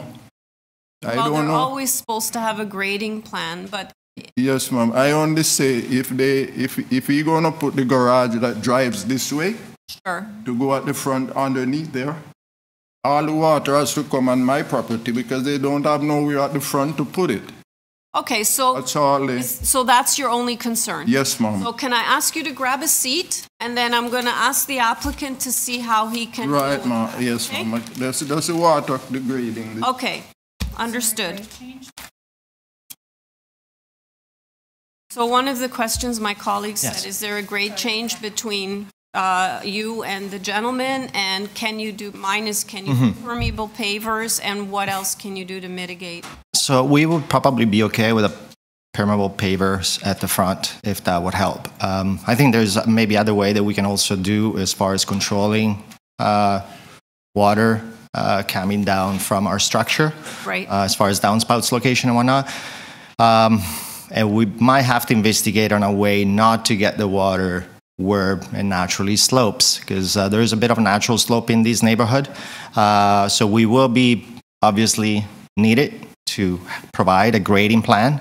Um, and we're gonna have to investigate a little further what can be done in order not to make the issue greater than what it might be.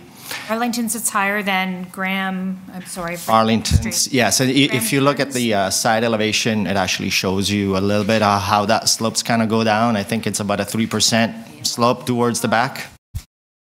As I understood the gentleman's comments, he was concerned in part that you have a reverse slope driveway. No, not at all, believe- no. Which So I don't believe, well, but I, I don't think he understands that. You don't have a reverse slope I think driveway. he's- N- And I think that um, the, the, the grading plan you will have, if you don't already, would take most of the, the water out to the street, would it not? Yeah, at least like probably three quarter, I- I'd say a quarter to a third of the property, natural draining will be going towards the front. Side to the front. Right. Uh, and then I, I think the downspouts will be the most important component of focusing and making sure that they might drain towards the front rather than the back. Or at least on a part of the property where grading naturally slopes towards the front. Uh, but the rest is all natural land and natural profile that we can probably control to a certain Well, we certainly can't Right. but if you can in good faith... We would do our best in good faith. that would be Um, there's way of investigating possibly like a French drain, but I'm gonna have to investigate with the city if it's even a possibility of proposing so. Well, if, if you're willing to Yes. maybe, and maybe let the gentleman know what's going on, Yep. give him a sense of comfort, that'd be helpful. For sure. Okay, so panel members, do we have any other questions? No. All righty, we'll take it into committee. Any comments? Or a motion? No, I'm prepared to bring a motion. Um, I think your presentation was, and your elevations and drawings were extremely helpful. As my colleague pointed out, the uh, drawing showing the height in context with neighboring properties, um, the fact that um, the height is stepped back from the front and the rear, I think helps mitigate any impact on neighboring properties. Um, On paper, you don't see that when you're looking straight at the variances, but they are shown on the elevations. And so, uh, given that, um, you have stepped back the height, uh, the height only relates to one side of the peak. Um, There is a peaked roof. So um, I feel that this is, uh, fits within the context of the neighborhood. Uh, It reduces the massing that otherwise would be if it was a straight box. Um, So I'm happy to bring forward a motion for approval. I'd like it to tie it to plans to, um, to. uh, the elevation Yes, to the elevation drawings, just to ensure that the- it's not built um, full height on all sides. Um, So I I was thinking A8, 9, 10, and 11. Does that show all the, I believe? Now, Could, could I In the pre- suggest that you also put A1 and A2 because that's, One and two. that shows the extent of the third story and A1 shows the front elevation.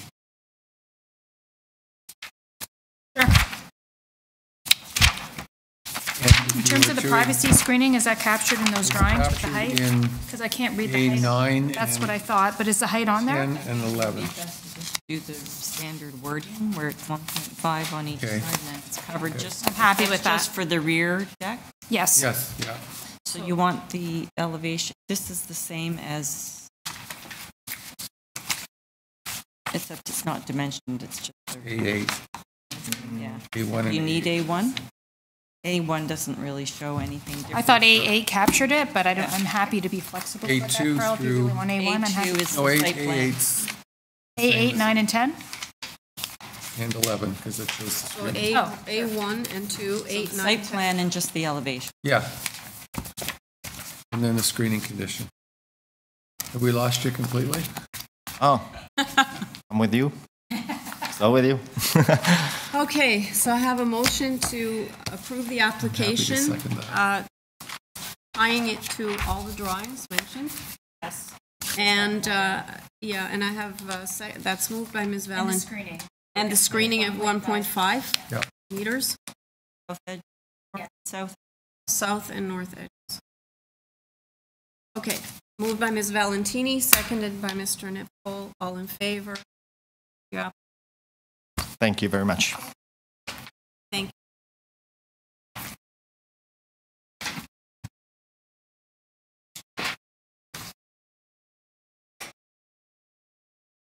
Can you maybe just take your neighbor outside and fill him in as to what happened? Because I'm not sure. Okay, so item number 35, 102 Robina Avenue. Panel members, we have before us a copy of the plan of survey, site plan, floor plans, and elevations, and we have a 3D rendering of the proposed sub property. And we need your name. I'm Kyle Kadra, the agent. All right. Panel members, do you need a presentation?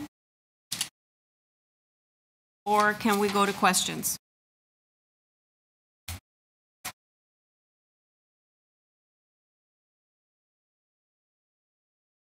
I need a, I don't have a full presentation. I have a- I have a, Okay. go ahead, Sorry. um, can you tell me, are there already three suites in the house? Or is there just the uh, illegal basement suite and the rest of the house? Are there already three existing suites in the house? Yes.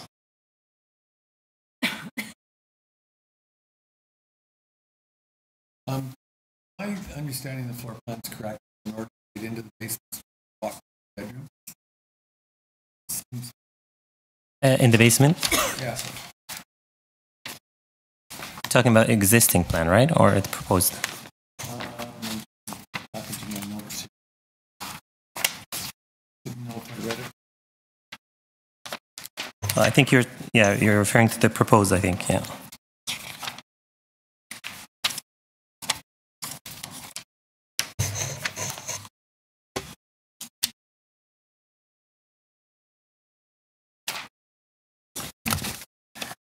Yeah, through you, Madam Chair. There, there is, there is one entrance that goes through the storage area and the bedroom. And That's the only way in? Oh no, there's an, a second access through the stairs. Yeah.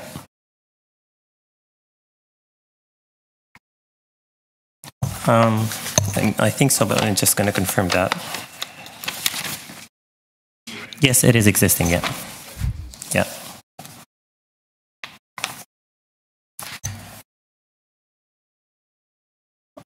If I may speak, Madam Chair, uh, we also submitted uh, support signatures, over 16 signatures, but I was not able to find them on the portal. I, I have nothing. Yeah, we do have support from the two adjacent neighbors and a total of 16 You signatures. have it? Um, not right now. We sent it to Patricia uh, a few times, but I haven't heard. Uh, it's, it's it's been sent to her over uh, 10 days ago. I don't know if she's here. Committee. Sec- Yeah. Okay, well, we don't have it, so, and you don't have it. No problem. I can email it anyhow, but it was emailed. Yeah. Okay, so both adjacent neighbors, you say, are in support? Yep. I'll email it again, again, uh, just now, if that's okay. Well, we're just taking your word for it. I appreciate it. Thanks. And both entrances to the basement are, is that correct? That's correct, sir. Yeah. Got one inside and one, oh, because of the, Um, in terms of building code, yes, you do need both. Two X Yeah. fire.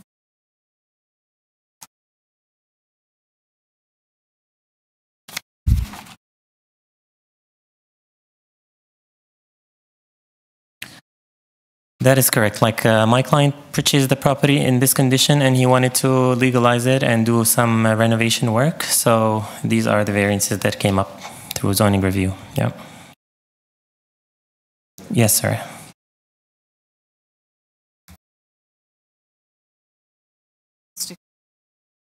No, there's already three suites. Yeah. I mean, there's three units. Yeah. So now it's going to be a main and two accessory dwellings in total.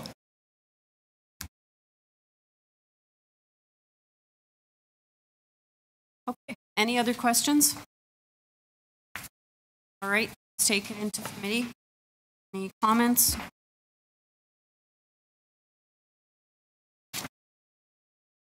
To move a motion then?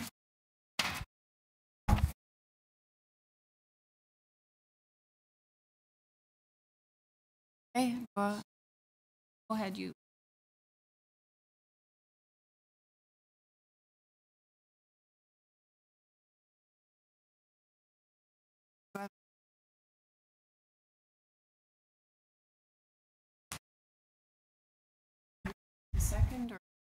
I'll second the motion. I'm going to second the motion. Um,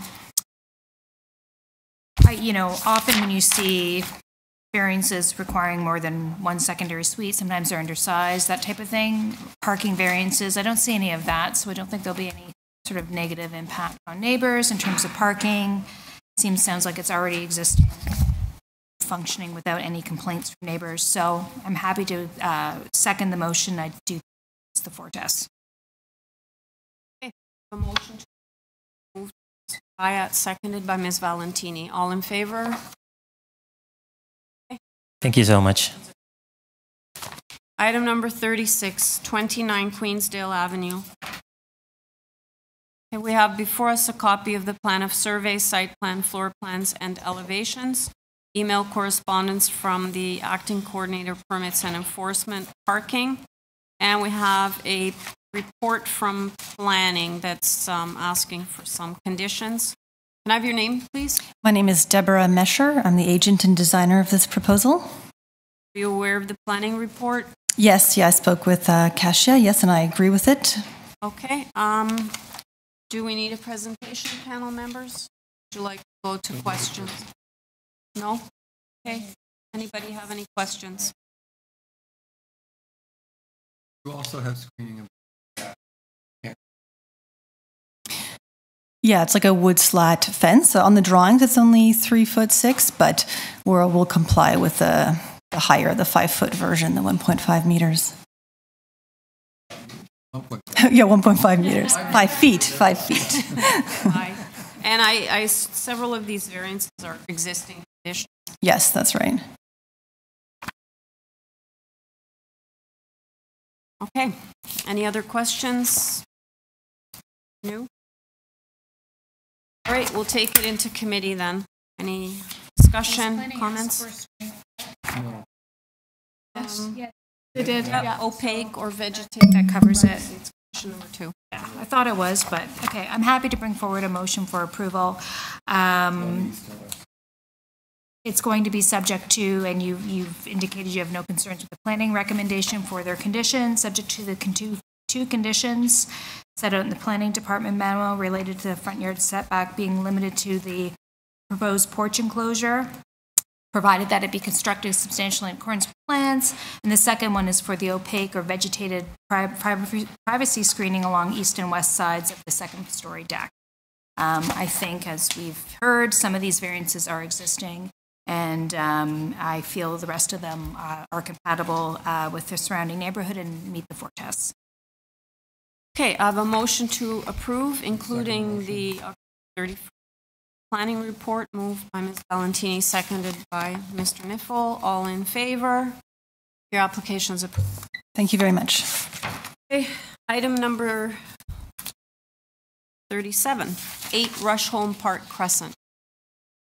We Have before us a copy of the plan of survey, site plan, floor plans, and elevations, and we had opposition correspondence from number 3 Rush Park. Can I have your name, please? Good afternoon, Madam Chair. My name is Adam Brander, and uh, my address is 49 Bolton Avenue. Okay, panel members, do you need a presentation? Or would you like to go direct?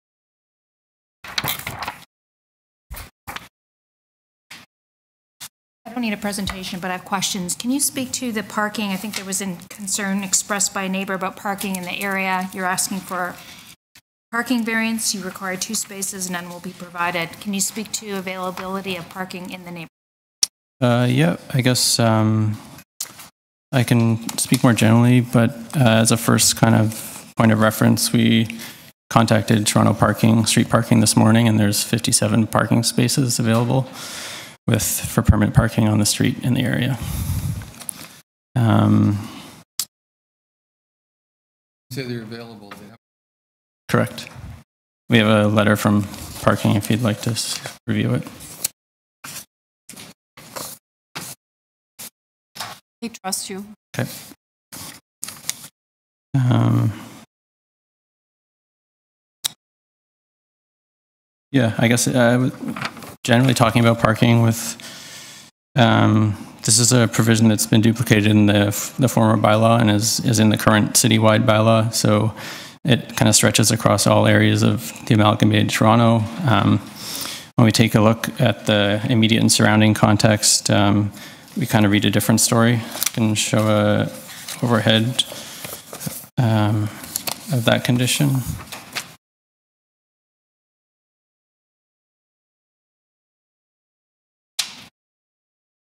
Is this you're showing us?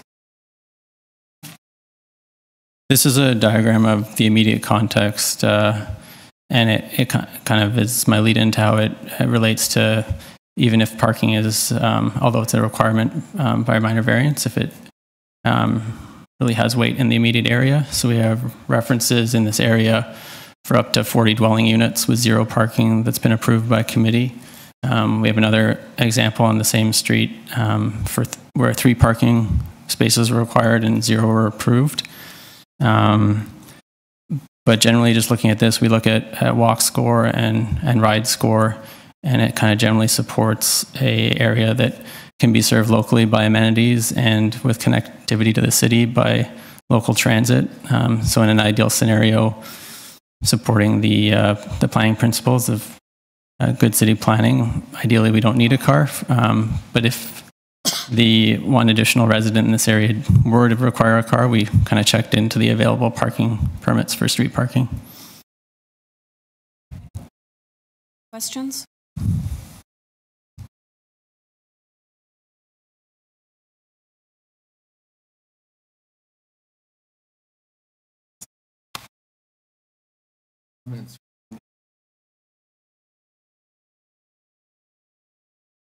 Convincing, basically, I mean, he's not inventing that. Some of it, I am in the air. Basically, are will live in this park. That being the case, like my doing something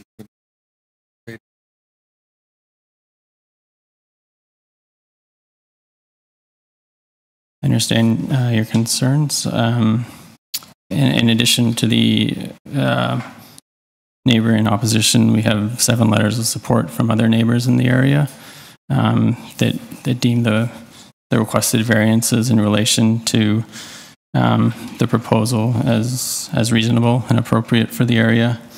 Um, my understanding is that um, City of Toronto is looking to fill those parking permits, um, and they have them available. So, um, What does that mean available? That means there's parking, maybe not on this street, but they could park in other streets within the vicinity? yeah, there's a small overnight parking. a small local catchment for overnight parking, where there's 57 vacancies as of as of today.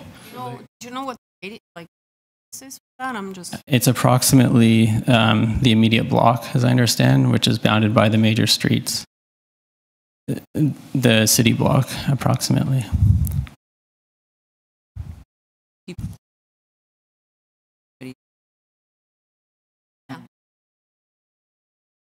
so basically this is for overnight parking plus being able to stay and exceed the three-hour bylaw during the day. So people who have permits, then those people that are coming from Y can, are working under the three-hour bylaw during the day. I, I assume that's, yeah, a complaint that could be voiced more to a counselor during the day for local parking requirements.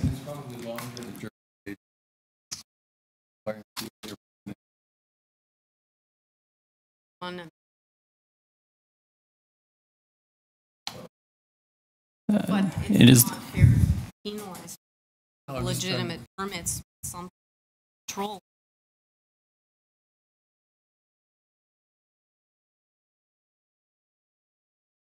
Uh, hang on, I don't know. Yeah.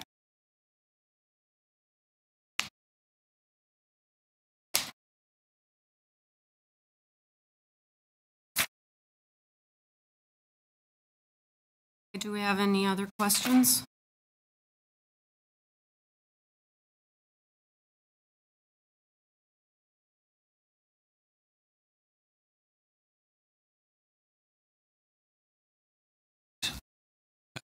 The uh, Mr. Krangle, who's raised some objections, some uh, two. of- One is to do with parking. The other is the idea of um, having multiple units. Structure would somehow ghettoize neighborhood. Quite approve of that approach to providing challenge, I suppose, and he sees the possibility of this becoming short-term rentals. Unfortunately, in the city, this is a little bit beyond the control of the city. But I a major issue, and as my colleague has mentioned, part of the problem with the YMCA, it's beyond our control or the control of the. Welcome. It will shut on its own. It will, sh- it will shut on its own. Yeah. Unless you broke it. Are there any other multiple unit um, homes on the street? yep. um, There's an application at 22 Rusholme Park that we have reference to that has three units and zero parking on the street. That's an application. Um, A past approved application, yes. Can you just tell me, I'm just trying to look at a context map, where, where is the Y? I, I don't know exactly. Is it? it, is that Dovercourt and College? Oh, it's right on College, okay. I see. yeah You, Madam Chair, I'd agree with um, the committee members' comments that uh, the parking for the Y is beyond the, um, the reach of um, decisions made in this committee. Um,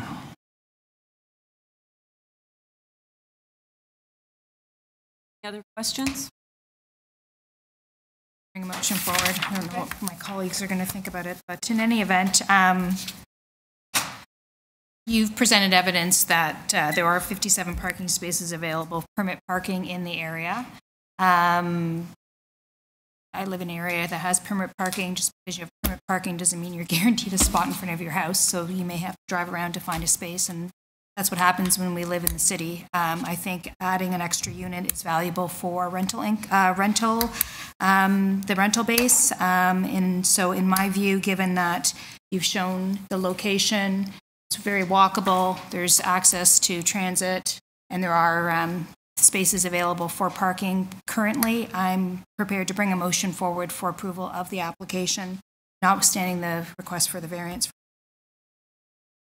So I'm approving all of it, but I think you've satisfied my concern about the parking. All right. Motion to approve, moved by Ms. Valentini, second by Mr. Bayat. All in favor? Applications. approved. Are you dissenting? Thank you.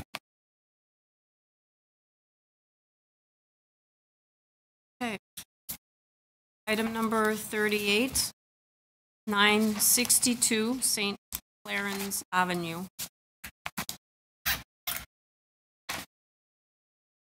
Okay, we have before us a copy of the plan of survey, site plan, floor plans, and elevations. And can I have your name, please? Mario Silva, good afternoon. Hi. Panel members, do you need a presentation? Do you have any questions? No. No? Okay. Would Like to move a motion.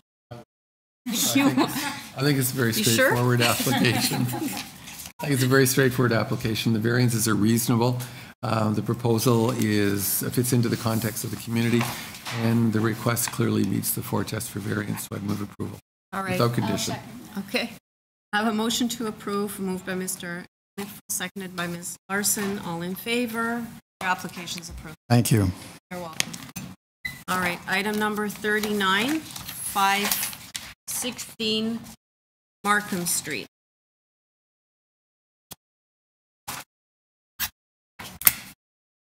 Okay, we have before us a copy of the plan of surveys, site plan, floor plans, and elevations, a previous committee decision that affects this property, a T-Lab decision and order that affects this property, correspondence in support from Tristan and Tara Armstrong, 518, so the adjacent neighbor, and correspondence in opposition from 499 Palmerston Boulevard.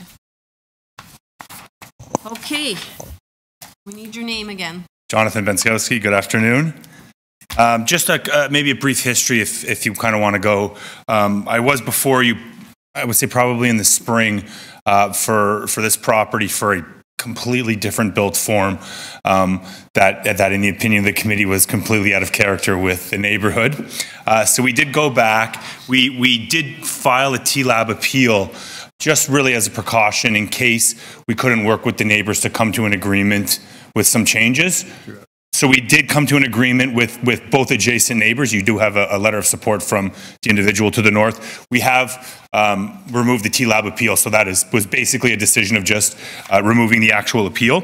So basically, the changes from the application that were originally here uh, to what, it, from the spring to where we are today, is the elimination entirely of, of what would have been variance number three, which just dealt with a window within the 17-meter length on the third floor facing the north.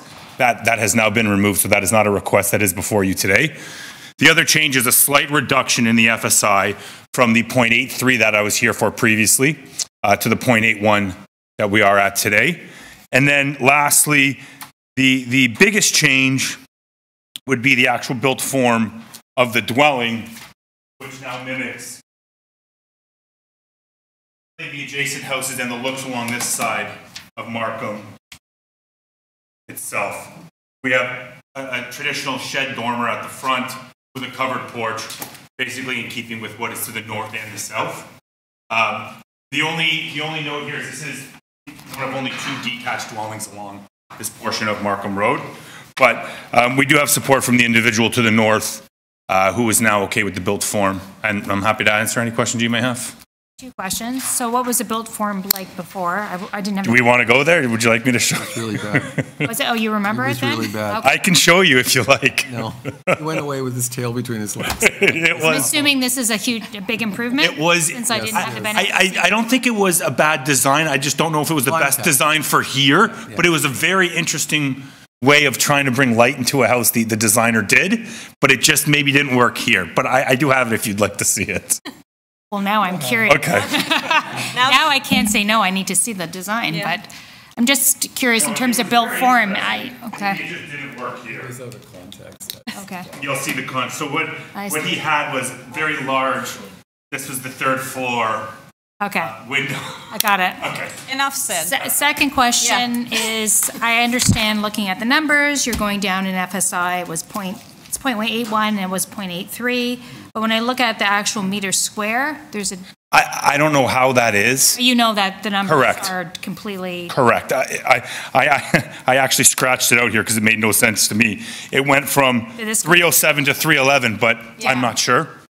Um, so you can pick one you'd like to approve it to, and I'd be happy with it. If you want to pick the to point out percentage the difference, I'm not going to be calculating. or the number, it's up to you. The, through you, Madam Chair, the original, the application that was refused was based on a zoning review. This one's on a zoning waiver. And my understanding from the zoning examiner is that the, they could never seem to agree on what the lot area actually was to calculate the FSI. So um, I believe that previously the lot area was considered to be 368.59 square meters, but now we're being told it's 384.35 square meters. So that's where the there's some Ah. discrepancy in how the lot area is being calculated, but I'm looking at the survey and it's pretty,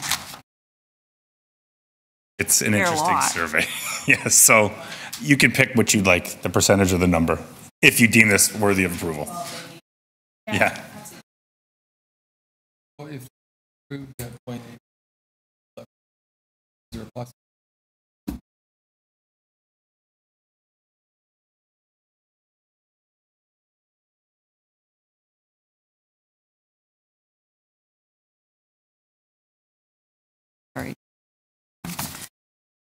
Speaks to floor space index, which is the 0.81.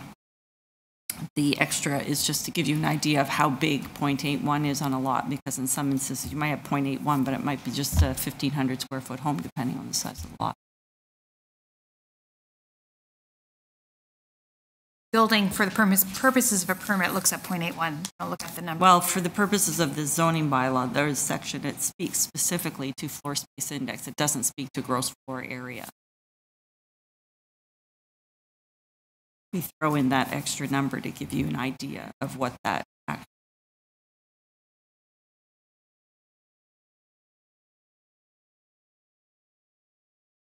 Well, .81 is .81, but if it's, if it doesn't, if it's less than 311 square meters, a- they may have a problem. They won't, they'll have to downsize the house a bit. And then if it's actually larger, then, um, In my experience in the past, it is, uh, as, as the Deputy Secretary Treasurer stated, it does go by the actual .81 number. Because the the zoning bylaw regulates it based upon that. We don't have another. But. Come back.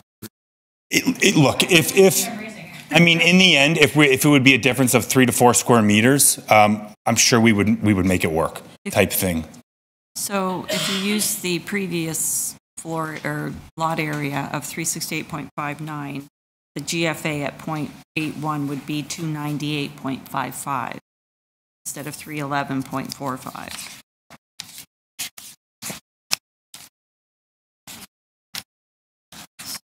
Then again, this is on a waiver, so the applicant is Yeah, I'm, I'm comfortable with the .81, and if we have to play with it from there, we would, we could play with it from there. Because .83 was 307.4, which... Anyway. Again, it's based on a waiver, so if issues that there's a need to come back, it's, the onus is on the, app or the applicant have to deal with that. Oh, it's on a waiver?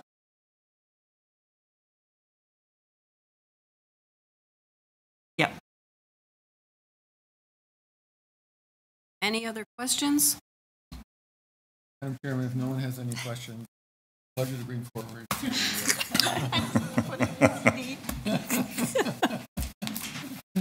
Um, or An approval uh, motion. Um, This is a substantially improved um, application to what we had before. As the applicant indicated, there's nothing necessarily wrong with what was here before, just in this particular location, it generated a great deal of opposition and rightly so. So um, my motion is no condition, including yes, and I hope point eight one is the right number. Okay, do I have a second I'll- Okay, motion to approve, moved by Mr. Nipfel, second by Ms. Larson. All in favor? Your application's approved. Thank you. Okay, item number 40, 78 Gormley Avenue.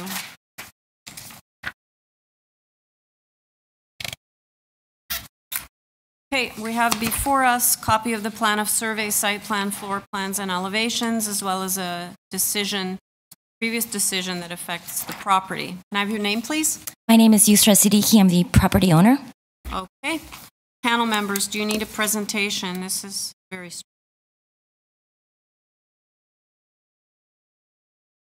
No, he's still here, but he's just in support. okay. Does he want to speak or not? Unless you had questions that we would need his input on. Okay, what, what's his address and name? We'll just put it in the record that he was here. Do you want to? Where are you? Back there? Okay, can you just come and identify yourself? We'll just put you in the record, um, your name and address. Maybe just grab a seat right here. Oh, okay, you have to do it at the mic, so you're on YouTube. I'm the neighbor directly in front of uh, the subject property. My name is Vito Siracco from 73A Gormley. I've seen the, the plans and um, I'm in support of them. Okay, thank you. I have a question. Um, You don't have a drawing of this particular house attached to the semi to show what it looks like? No, it's identical. It's actually identical, but without the third floor. Okay, so if you could go to drawing A5, the only difference is that slight, well, the additional pitched roof on the top, the part that says new roof to match. That's right. That's the only difference. Otherwise, From the front, it'll look identical. Well, But I'm enclosing the balcony area. pardon me? I'm enclosing the balcony. There's an open balcony that's being enclosed. That's not part of um, the variation request. The variation was about just the, the square footage. We didn't. Not clear about what you mean you're An enclosing the exist- An balcony. existing balcony, she's At the front. it. I don't see that on my draw. No, I still don't see it. Above the garage, right now, the balcony is open. We're simply closing it in.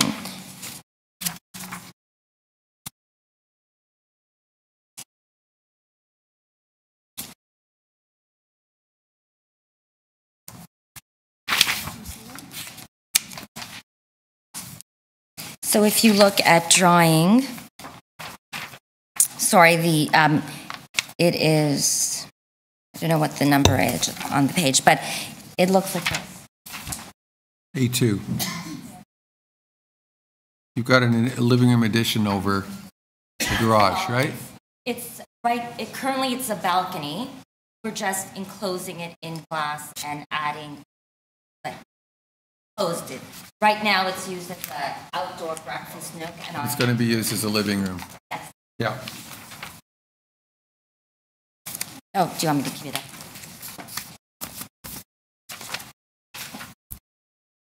And the attached house is, is that here? Exactly. Yeah. The front is all identical. So in terms of the new roof you're constructing, I'm just looking at drawing A7.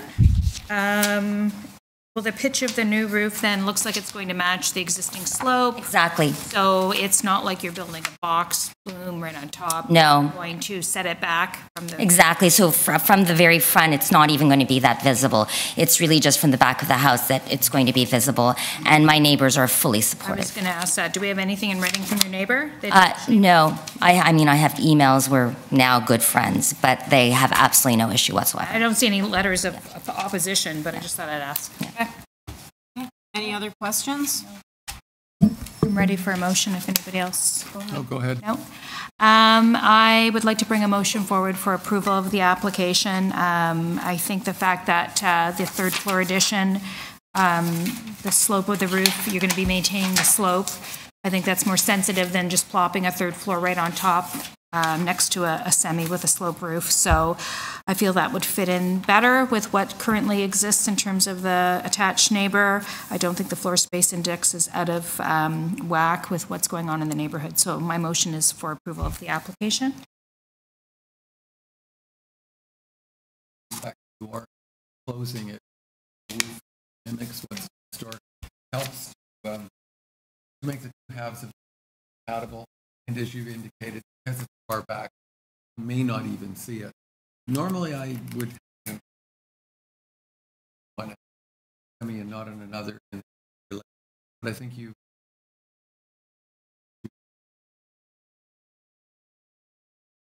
Okay, I have a motion to approve, moved by Ms. Valentini, seconded by Mr. Nipfel. All in favor? Your application's approved. Thank you. Okay, I'm going to vet the 3:30 time slot, and then we'll take uh, five minutes or so. Okay, so the next item is 41A, B, and C, 52 Holmesdale Road. Is the applicant here? Is there anybody here in interest? You're opposing, sir? Okay, can you folks go outside the room and have a discussion to see if you can resolve any, any differences? Item number 42, uh, 143 to 177 Lake Shore Boulevard East. Is there anybody here in interest? Okay, item number 43, A, B, and C, 647 Beresford Avenue. Is there anyone in interest? Yes, you're opposing? Okay, can you, this is the applicant here, can you also go have a conversation, please? Okay, so we'll come back around 10 to 4.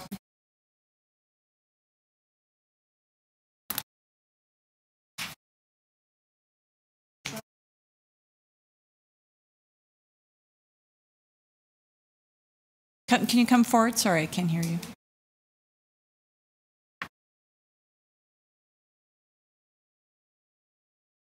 Are we're vetting. It's not 4 o'clock yet. Oh. Yeah. On, oh, on the agenda. The agenda that I've got says 3:30 slot, but okay.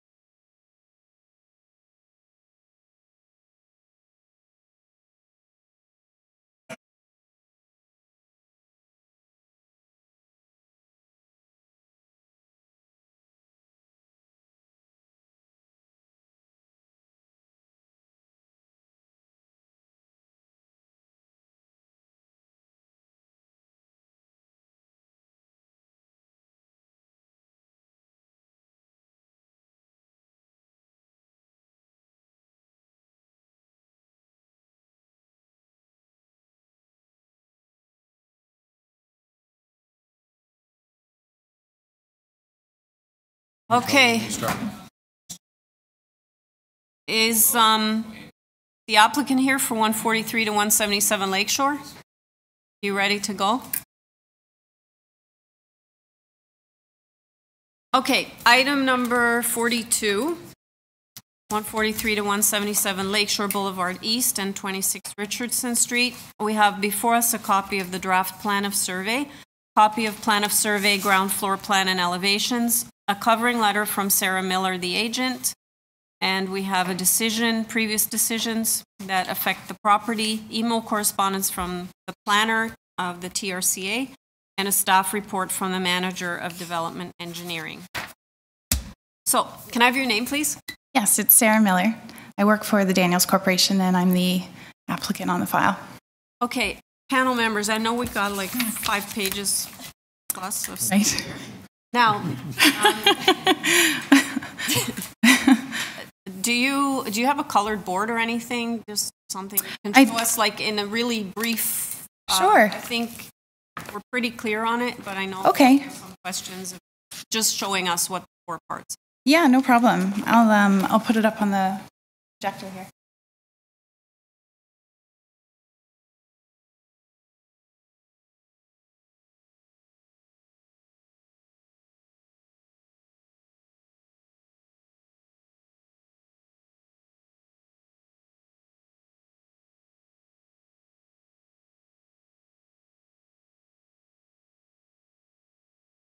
These these strata reference plans are always fun, right? I know, I know that's why. simple, simple, simple. Yeah, I and I'm joined by my uh, our surveyor from Krcmar if if the questions get really complicated. Um, but basically, what we're doing here, um, the overall development plan is for two residential towers on a shared podium. Uh, there are four individual components being created. One is a retail component, which represents the retail at grade of the building. The second is a commercial component, which has its entrance obviously at grade. Um, and then takes up the second floor of the podium space. And then we have two distinct residential condominiums, one known as the Residential West Tower, which is a 45 story tower, and the other known as the Residential East Tower, which is a 36 story tower. Um, so overall, the development plan is for 963 residential units in total. Um, that one floor of commercial space, and then um, 10 retail commercial units at grade. And, and these are all supported by uh, four levels of underground parking. Okay. Now, panel members, do, do we need any? Good? Clear as mud. Yeah. Well, I'm trying to figure, I made the mistake of trying to figure out the stratification of. Yeah, he I was going through each up. one. Oh, I mean, he's very committed. I applaud. I applaud your effort. That's the ground floor? Yeah, sorry. So this this is the ground floor, and um, yeah, just to give you a sense. So if uh, the yellow components, yeah, the yellow is our is the commercial retail. Um, so so you can see there we've got retail units all along the south side of the building, um, and and also that that space at grade, which is shown I think as part twelve. Um, and part 13 right at the bottom of the plan there. That's actually an open area what, what we're calling the yard. That's an outdoor amenity space but it will be owned by the retail component of the building. Uh, the green you see is the west tower, the west residential tower. Um, its entrance is off Lower Jarvis, and uh, it will also be it, it will also be the owner of the garage ramp, which you can see accessing the access to that is off Richardson. Uh, the sort of orange peachy color is the residential east tower.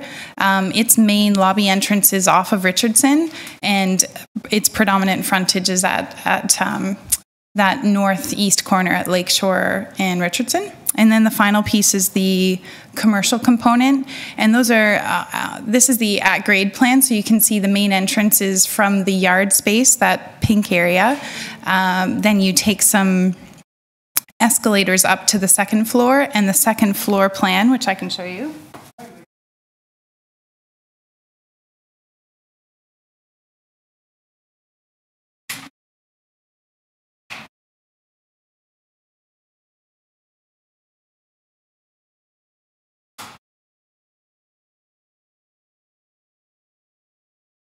The second floor is, is all commercial space, um, with stairwells and elevator shafts maintained uh, in the residential condo ownership.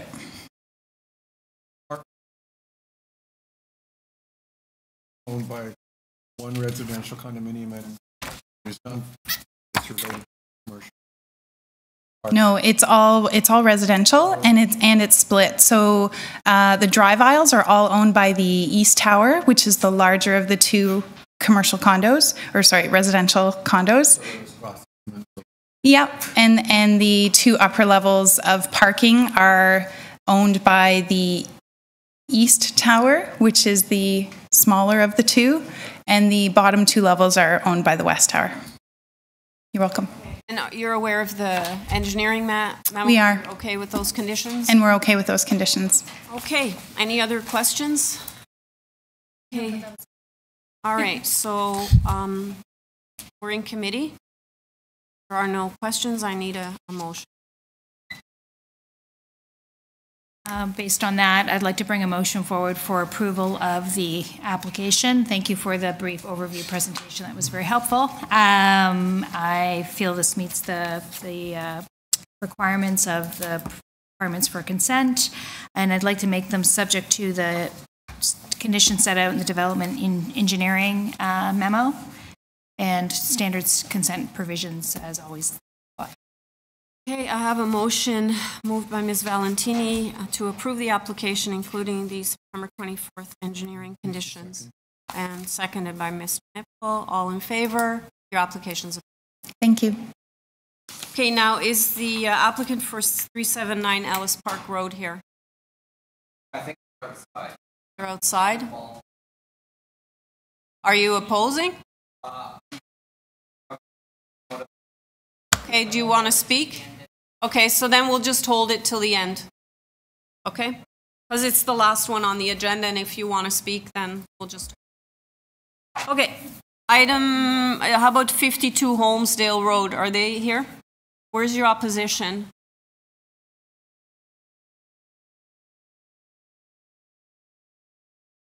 Uh-huh.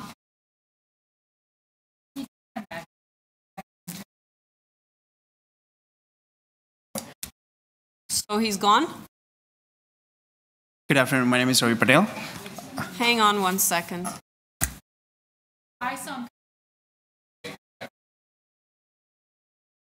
Yeah, why don't, Sure. Can we wait? Because I, I don't want to, you know, do something, then reopen and we have to start all over again. So, sorry about that, but how about 647 Beresford? Are they still outside too? Okay, well, I guess we're, uh, we can do Ellis Park, but, but he's out there somewhere too. Yeah.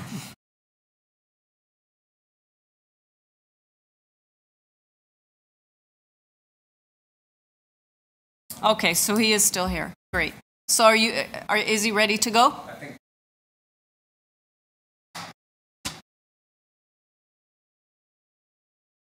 So you say they, are there more people objecting or? I see. I mean, if they're still discussing, then, yeah?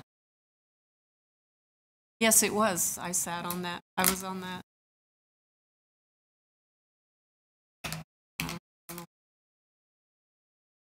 Okay.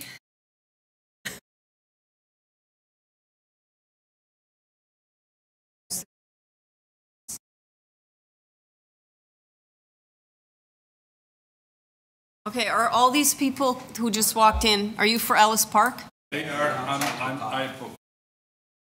Yeah, but you're here for Ellis Park? Yes. Okay, all right, let's deal with uh, Ellis Park now. Opposition on the side, right here, in the front row. Okay, um, okay, just bear with me a second. Okay, panel members, we have before us a copy of the minutes from the June 26th public hearing, as well as the materials that were submitted at that time. Copy of the plan of survey, revised site plan, floor plans, and elevations. Email correspondence from Ravine and Natural Feature Protection. Correspondence in opposition from 383 Ellis Park Road We have an arborist report from Bruce Tree Ex Company Limited and 12 photographs of trees on neighboring properties. So can I have your name, please? Good afternoon. Uh, my name is Dylan Dewsbury. I'm from Design Plan Services and here on behalf of the owner, um, who is also here today. Okay, um, so you have five minutes to do um, presentation. Uh, so I just want to quickly go over the history of the application uh, before I get into the variances. When the application was first heard in June, um, there were no objections from city staff or the TRCA. Um, and the application was presented, and the committee made the decision to approve the minor variances. It was only after that motion that the committee was made aware of um, there were neighbours uh, present that intended to speak, uh, so we deferred the application in order to speak to the neighbours. Um, the neighbours were from 383 Ellis Park Road, which is the condo building next door. So discussions have taken place with the neighbours since that application was deferred, and as a result, the overall height has been reduced from 10.08 metres to 9.63 metres, and the side main wall height was reduced from 8.39 metres to 7.93 metres. Uh, the third, floor, uh, third floor balcony has been reduced, and a portion of the roof was removed over that balcony. A primary concern of the neighbours was the preservation of trees along the northern lot boundary. Um, an agreement has been reached between the owner and the neighbours regarding the engagement of an arborist to ensure that all efforts are made to protect these trees during the construction. Um, and a tree permit will also be required, and RNFP also regulates this land. Um, so the protection of the trees will be uh, ensured to the best of our ability. Um, a representative of the neighbours is also here today, and it is my understanding they're no longer here in opposition, um, from the condo side at least. Um, and based on the owner's agreement to protect the trees located at the lot boundary. The applicant is requesting minor variances relating to the construction of a replacement dwelling on this lot. The replacement dwelling will utilise almost the same footprint as the existing building, and the building footprint and GFA are very similar, and the height is now lower than the existing uh, building that's there. So the variances requested are due to the unique nature of this lot and the grading. Uh, the current house on the lot is very run down and has been con condemned after being left abandoned for 14 years so it's in very poor structural condition. Uh, this is very unique lot due to the grading, and therefore it posed a pretty daunting task to the potential owners looking to rebuild it. Um, so the first step was to speak with TRCA and ensure that re the replacement dwelling meets all their policies, which is why it's mostly on the existing footprint. Um, with small modifications, mostly shifting the floor area towards the street. So Although it appears as though there are a lot of variances, uh, they're mostly a result of the grading and mostly reflect the conditions of the existing building that's on the lot. Although there isn't um, time to go through all the variances in a lot of detail, um, I'm happy to answer any questions that you might have, um, but I can go through some of them in groups. So the variances relating to overall height, um, main wall heights and the height of the first floor, uh, are mostly due to the grading. So the established grade is almost two metres below the street level, resulting in those variances. The proposed dwelling will, no, will be no higher than the dwelling currently on the lot, and the overall height and also main wall heights have been reduced, as I mentioned before. Uh, variance 3 is regarding the FSI, which is a result of um, the TRCA determining the stable top of bank. Um, as a result of this, the, the, technical lot area, as referred to by the TSA, is only 3.46 square metres, which is the um, reason behind that variance. So if the entire lot was used in the calculation of FSI, it would actually comply. Uh, I also want to note that the floor area is slightly less than the existing dwelling. So there are also... Can you just repeat that about the... I understand that, the calculation, and it looks huge, but you were saying um, if the whole lot was used, what would, what would it be? I haven't got the exact figure Oh, with me, but but it would be lower than the 0.35? uh, yes, it would comply It would to. comply, that's what you said. I'm sorry, I missed Sorry. that part and I didn't know what you said. So Oh, it would sorry. comply. Thank you. Uh, so there's also variances mentioned for front and rear yard soft landscaping. As the dwelling is built over the existing building footprint, the soft landscaping on the lot will be approximately the same as currently exists. In fact, the rear yard soft landscaping will be increased as the rear main wall will be closer to the uh, street side. In addition, uh, the purpose of the soft landscaping is to ensure sufficient area for stormwater infiltration, uh, sufficient outdoor amenity area, and to allow a growing environment for trees. In all these aspects, the proposed dwelling will not be any different to what currently exists, um, and it will also be subject to the approval of RNFP and TRCA. You're over five minutes, so I'll give you a little bit more time because Uh, another minute. Sure. Um, so I'll just quickly summarise the rest of them by saying that um, most of the other variances are just due to the existing conditions. They're the same as what's there currently. Um, in regards to the balcony and privacy issues, um, I'd just like to note that there's also uh, five stories of condo buildings that are right next to this. Um, there's also significant tree coverage in the rear yard. So, having been to the property myself, standing on that balcony that's there at the moment, uh, you cannot see much through the trees at all. Um, so, also, the proposal has been reviewed by TRCA, um, as I mentioned earlier, and Urban Forestry, and they've all stated they have no objection subject to the various conditions that the owner is willing to comply with. Um, additionally, the neighbours spoke. Uh, we've spoken to the neighbours to the south who are um, who came in support at the first meeting, and there's seven support letters on file. So, in conclusion, we believe that the proposal maintains the general intent and purpose of the official plan. Uh, the variances in context are minor in nature and appropriate for the development of the land uh, to replace the condemned building. And I'd be happy to answer any more questions you may have. Just before I move on to the opposition, um, the uh, planning report from June 21st. Yes. Uh, We would probably, if we do approve it, we would be inclined to attach that. Are you okay with that? Yeah, that's um, the owner's okay with that. Okay.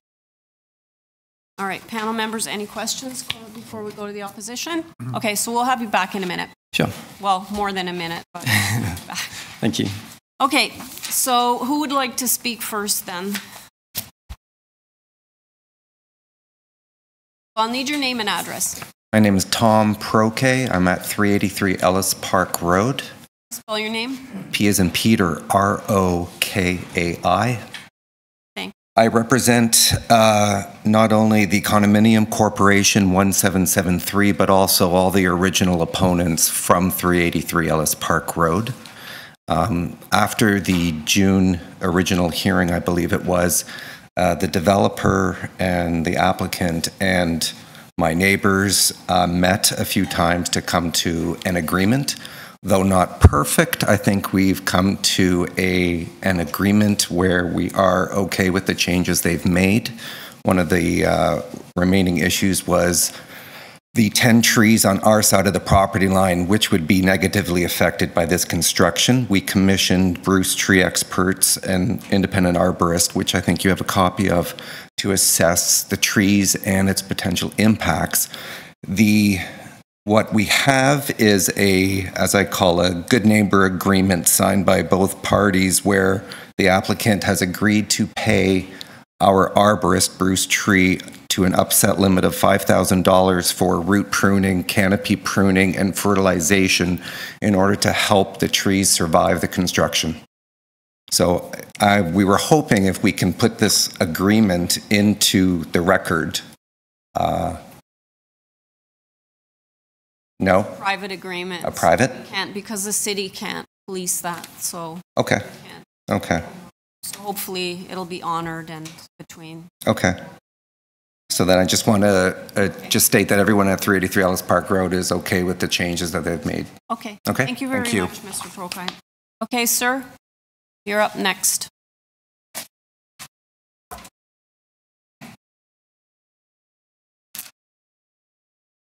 Thank you very much. My name is Eligio Gaudio. I live at 18 Wendigo Way. Before I start, my neighbor uh, to the north of me, uh, uh, where is she here? Uh, Robin, Robin McCauley submitted a letter that uh, I don't think is on file, and I'd like to submit it to the Uh, you can pass it to me. to you? Okay, thank you. And wanted to make sure because I couldn't find my letter.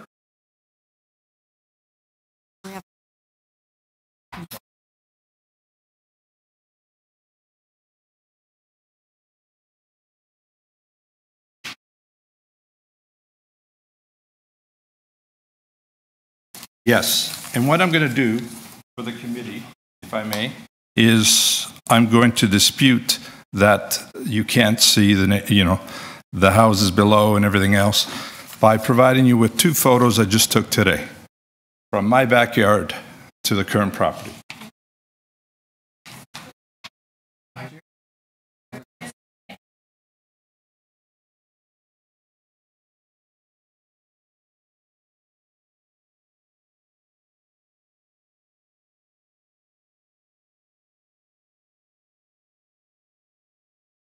That's one of the views from my backyard, and you can see the property fence. I will give you the second view.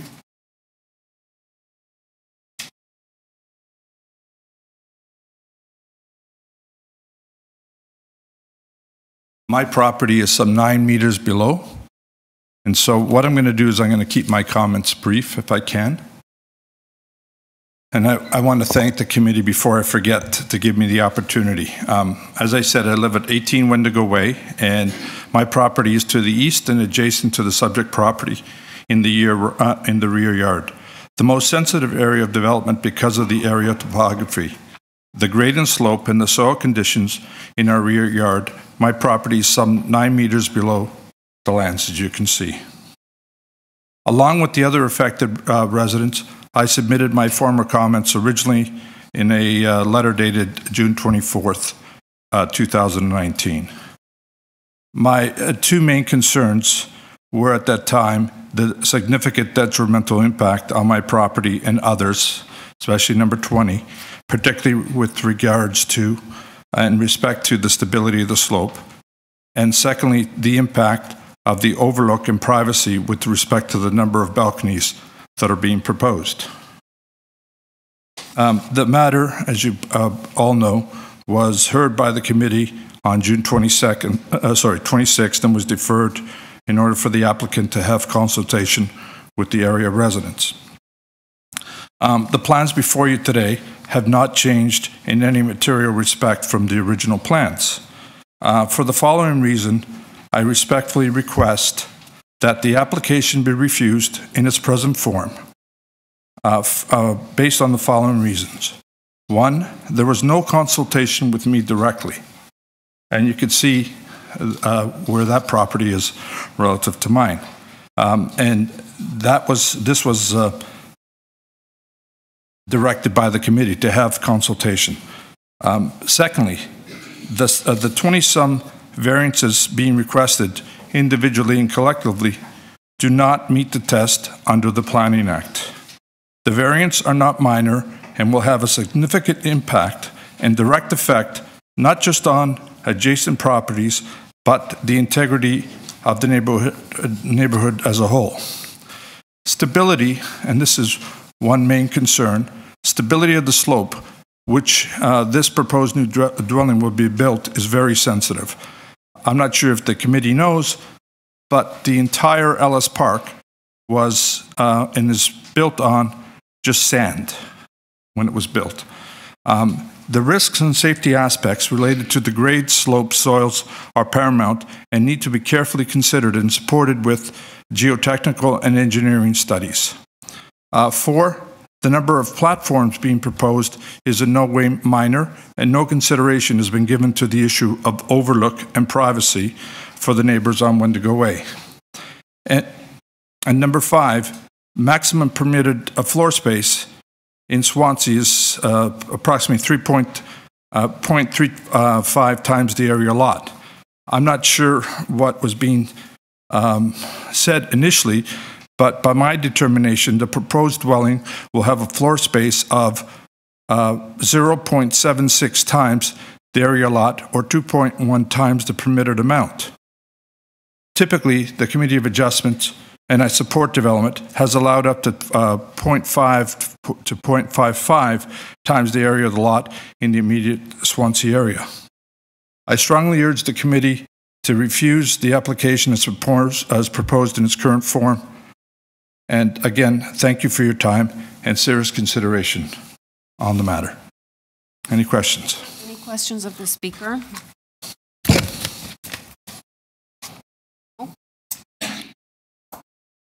In terms of, as I understood the presentation before, in terms of the floor space index, the number seems so high. I understand it because of the slope, the grade, and what is calculated, what's considered um, the size of the lot. It's the actual lot size when you look at the lot size.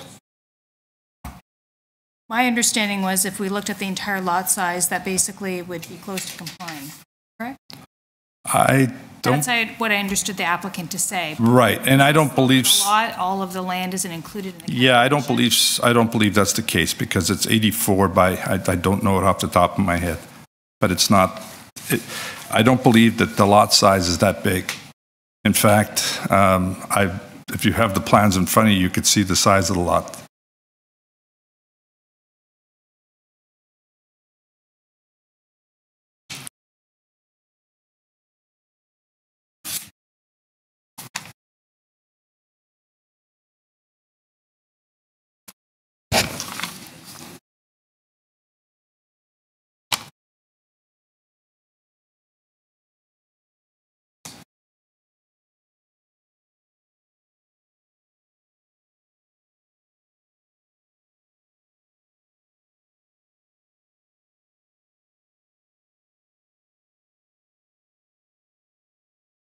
Have you been able to find it?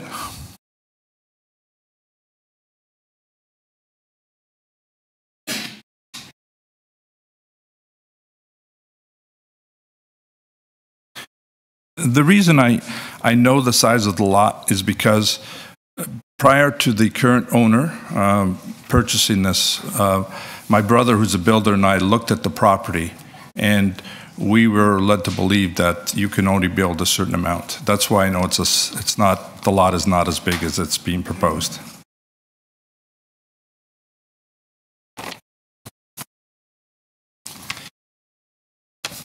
And as I mentioned, the privacy issue and the, uh, the slope are major concerns.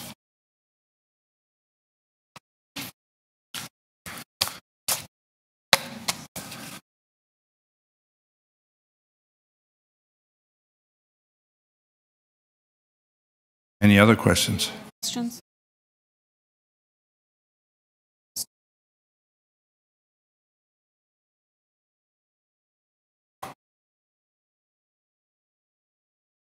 Was I incorrect? Approximately 84 by 90. yeah.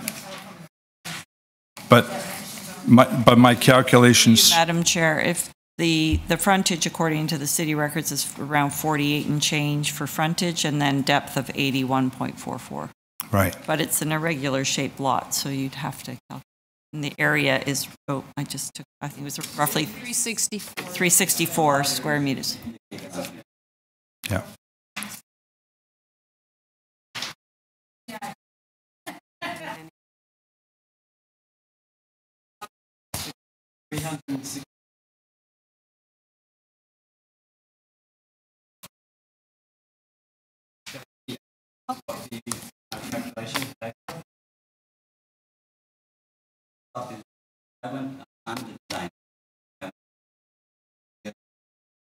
Okay, can we just finish with the opponent, please, and then we'll come to you and you can um, justify your case. Thank you, Ms. Zollman. Chair- Is there any other questions of the speaker? Panel? I just, in terms of what you would be pleased with, you basically think this is too much, too much building for this property. Uh, number one. But my biggest concern is that I note that the TRCA really hasn't had a good look at it and the size of the slope because we've had problems. And one of the issues with the current property when the condo was built is that um, it cracked and, and the whole, um, the whole uh, building itself has been under, I guess, uh, uh, you, you can't build it. And it cracked primarily because of the way the structure was. And that is, it's all sand on that property. It is not, you have to go down at least 60, uh, you know, 60 feet with helical piles to get any stability at all. I don't see anything like this, and I understand it's a process where the next people will look at it, et cetera. But there's no, we tried to have this discussion outside, but there's no guarantee that that's going to actually happen. And my concern, uh, and, and I would hope it's the city's concern, is the stability, especially given the fact that they're looking at uh, top, of- uh, top of bank and lowering it and coming closer to the property line, which is uh, um, number 18, point number 18 you know, on the objections. Um, I just, I'm looking at the TRCA report from June 21st. Yes. Speak to your concerns, and they talk about, given the significant risk of erosion associated with the subject site, additional geostructural and geotechnical engineering details pertaining to shoring, foundations, grading, and replacement retaining walls will be required prior to the issuance of a TRCA permit, but this should have no impact on the variances being requested. So they are asking them to provide, you know, what they need with respect to all of the things you're talking about. Right, after, after, after it's been approved. Right, so they're saying this doesn't impact the variances themselves, but in order to satisfy the TRCA conditions, they are going to have to meet everything that they're looking for with respect to all these things, shoring foundation, grade, and the retaining walls will have to be replaced. Okay, I hear what you're that saying, Madam Chair. And without that, you're not going to get a building permit. No, I, I, just- I understand that, I understand that. Yeah, you know from your brother's business, right? So, Yeah. but, but I guess that my point is that TRCA is looking at it. so Right. This, this report still stands. Okay, and, and um, has any consideration been given to the, to the, um, basically the uh, number of platforms being, cons- uh, being proposed? Um, well, they wouldn't. Because it's not really a minor. I- You saw from the photo, I don't see any reports to, that speak to that, to be honest. Right. Other than the, uh, uh, yeah, they're for No, it's opaque, not. they're asking for opaque screening. So, okay. So the only thing, again, going back to the June meeting, the June 21st planning report, um, is asking that the, the the dwelling be constructed according to the plans, and that the front, rear, second story, and third story balconies shall be constructed with opaque privacy screening or fencing that is permanent, located along the north and south edges of the balconies to a minimum height of 1.8 meters measured from the floor of the balcony. sure. And, and that's wonderful if you're the owner of that property, but if you step out and you're looking down on, on your neighbors, the opaque does nothing for it. Mm-hmm. But those are the only reports that we Right, have. right. And- And those are from the original application in June, so Sure. they haven't made any, any other comments since then. Okay? Those reports still stand. Okay. Well, I leave it to the committee in your, in your good judgment. Okay. Thank you very much for your Okay. time again. Thank you. Okay, Mr. Dewsbury, you can comment, please, on what's been raised.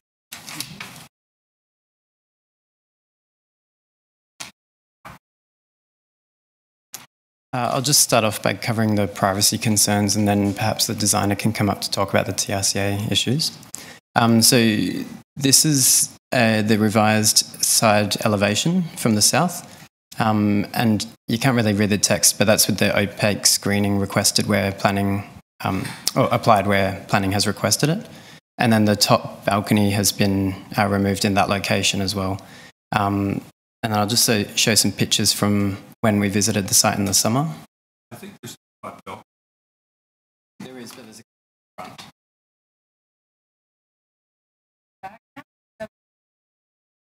There's still one on the third level, but it's been reduced in size so that it doesn't um, stick out quite as much. It's just on top of the roof where. Um, so these are the pictures taken in the summer, uh, looking south from the existing two balconies that are there. No, that's east. I, as much as I love your comments, ask to not interrupt, don't mind. Okay, This is it's straight east towards.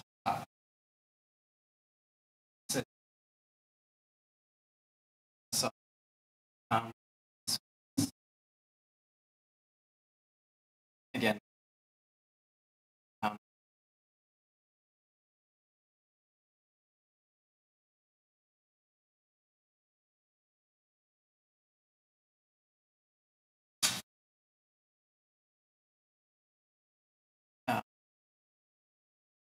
just from Google Maps. Um, so that's the condo building that's next door. Um, so as you can see, there are a lot of quite large balconies already in this location. So when the condo building was built, a certain level of overlook was considered um, for everyone to enjoy that beautiful view. Um, and that also shows just the tree coverage in, uh, between the houses there.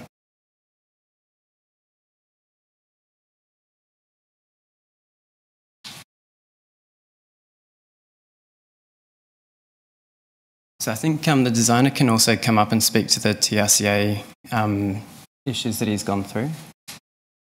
Um, Part of the five minutes. sure.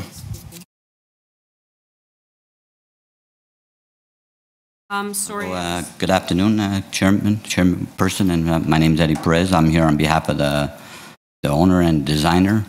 Uh, we've been working on this project for a while now.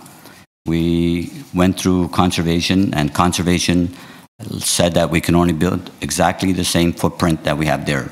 So we have uh, old drawings, I think they're in the file, which breaks down each floor, how many square feet they are, how many square meters. And when we proposed our project, it can't be any bigger in GFA than what is there presently. So that was one of the items.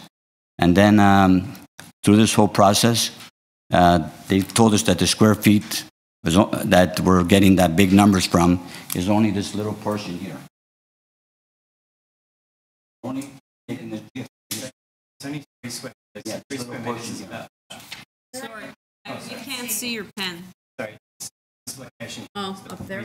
They're only taking a portion of it. That's the way they're calculating the, the lot area. So that's why the numbers, they look so grand. But in the scheme of things, the house itself is not any bigger than what's there, and it's not any higher. That was another thing, that we went through all that process with them. We, we revised the drawings on a couple of occasions, because we were a little bit over. We had to reduce it, not to be over the size that's existing. They made me measure the existing house and indicate each size of each room, each side of the perimeter, and that's how we came up with the numbers. We're not any bigger than what's there. We're only proposing to maintain what's there, and which is in very bad shape now, and they would like to build a new house on the same lot. So that's the gist of things.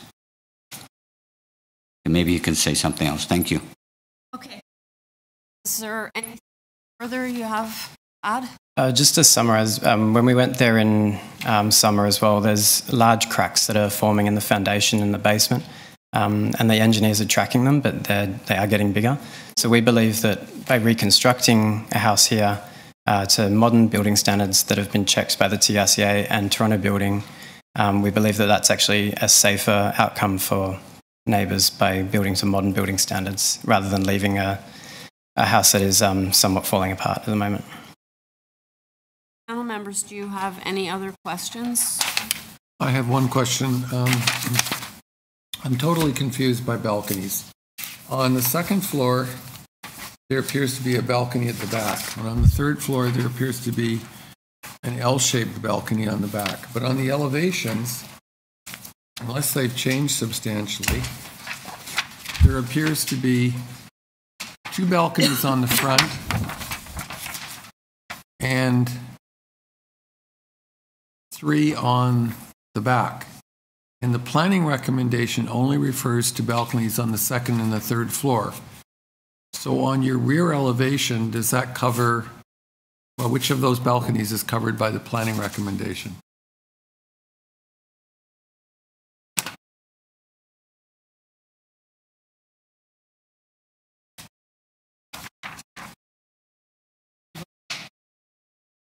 A7.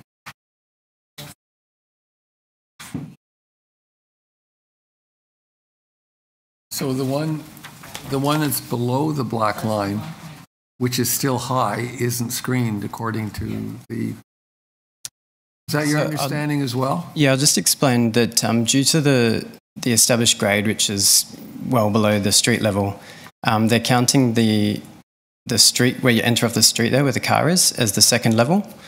Um, and then above that is the third. So one of the five balconies that counts as a balcony is actually the front porch um, where you enter from the street. Um, That's one. And then here is that, So the one that's got the bubble around it has, that's the one that's been reduced in area. Um, Still there, so that's on the third floor. yes, that's on the third just floor. It shows as a very long piece, it's just one balcony. That's just one balcony on the And third the floor. second floor, what is there? The second floor, there's two balconies, right? You look, I'm looking at drawing A7.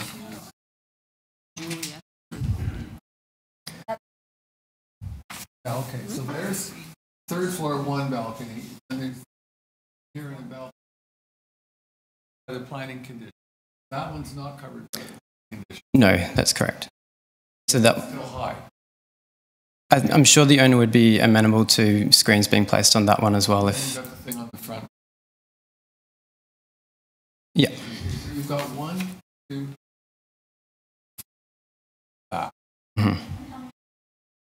But there's one on the front and then also the front porch.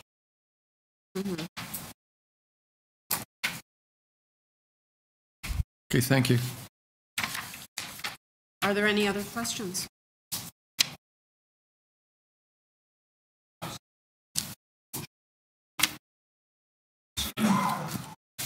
Yes.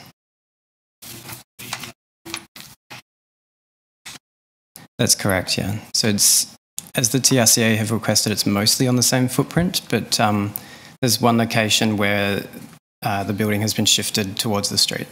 Uh, I can put the site plan up to help explain.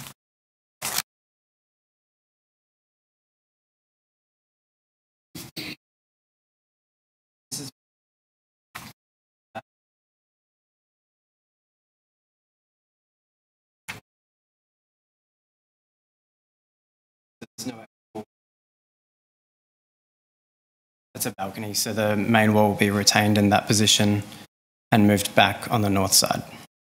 So the garage is now towards the street rather than um, towards the rear lot line.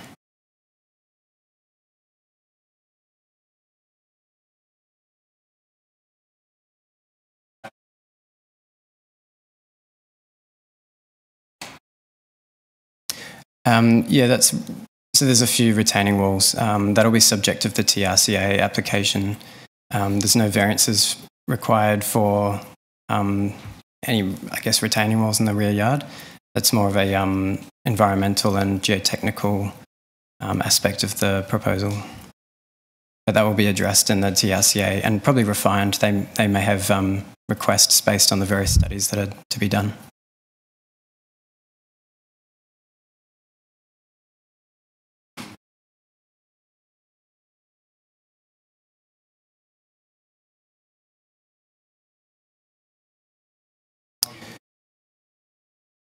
I'm not an engineer personally, um, but that is that'll be subject to the geotechnical study that has been started and is um, will be ongoing through the TRCA uh, permit process. So uh, they'll, they've identified the various issues in this report, but they haven't gone into a lot of detail yet. Um, that'll be the, the next stage, I guess, once the the variances are. Um, if the committee chooses to grant the variances, then the owner moves on to the next stage. But uh, those reports can get very costly, and um, he doesn't want to commit to them one, until you know a design is on the table.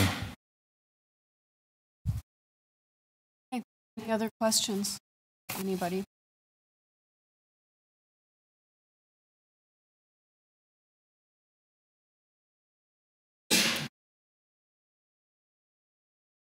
Okay, you have another question? No. Okay, we'll take it into committee then. Discussion? Actually, I have one, one question of Okay, we're clarification. out of committee. Sorry. The planning department references your site plan uh, that was received by Committee of Adjustment on January 23rd. Um, You haven't changed the site plan, or have you? The site plan that we have today, filed with this application for today's consideration, is it the same as the one that was in? Yes. I've just been looking, I can't see any changes there. It's No, the, the only changes were to the overall height and the side main wall height. Okay, So which the is actual reflected on the site plan. Yes. The only reason I'm asking is because the site plan is referenced in the planning department report. Mhm. Okay, thank you. It's the same site plan. Okay, we're okay to go into committee. Any other questions? No? All right. Uh, Discussion?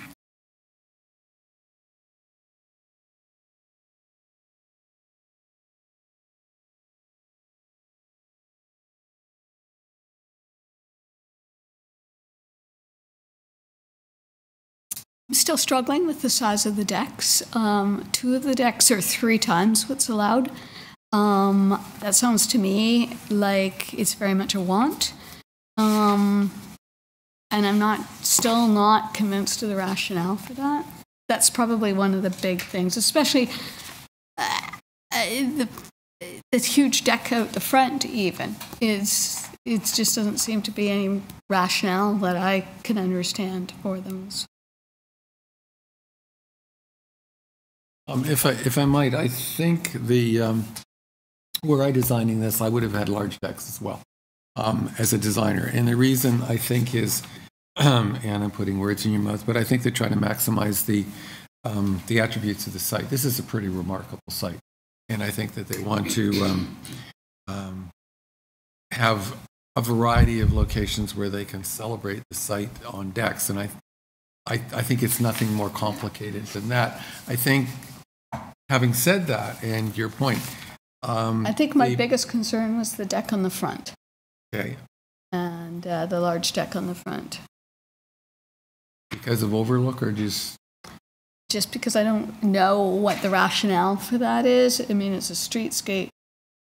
Uh, so I'm not sure exactly what the benefit to that would be. Maybe I Okay, should my have asked about commentary was rationale. relative to the ones at the back, yeah. Yeah.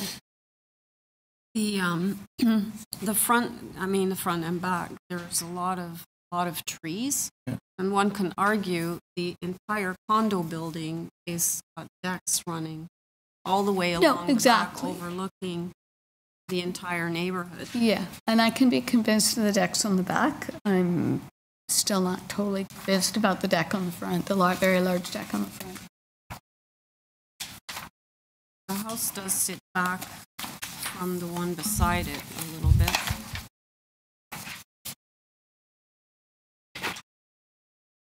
So it's really not looked into the adjacent. And what you're referring to is the covered veranda or the balcony that's above it? The 11 meters squared.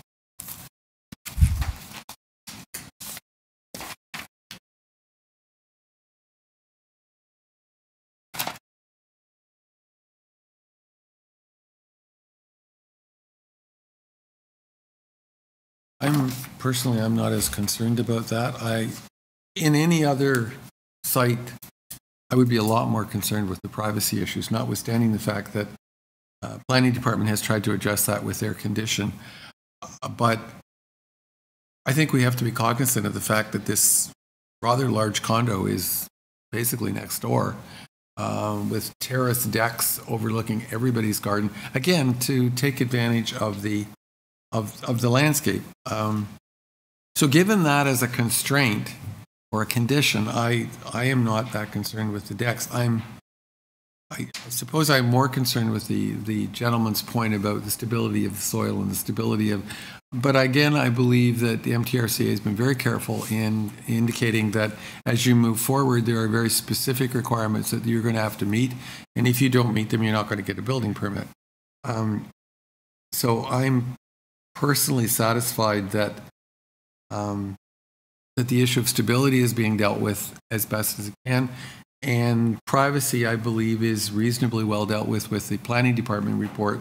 Although I would argue that it shouldn't say the decks on the second and third floor. Now I've lost the wording. I think it should just say decks because there are decks all over the place. I think it should say the the um, the balconies, the front and rear balconies should be constructed. That would be my recommendation, and and that would then pick up that additional one, which is actually below the second floor, but actually is still considerably above grade on the on the main on the back. Based on those, Sorry, how do you want to change the wording? I Does, would- it, does this not cover it? no, because it says second, second story and third story. I would just take that out. Balconies. Yeah, I would take Um, second story and third story out. Front Yeah. Be the front and all rear balconies? Yeah, shall be, and I think that that then address, and you didn't have any trouble with that I don't think you need all, you can just put front and rear balconies, Yeah, plural. that's fine. North, north and south side edges being screened or just this? North and south, no, because I think that's legitimate. So I, I, I think personally, I think that every attempt has been made to try and address the concerns.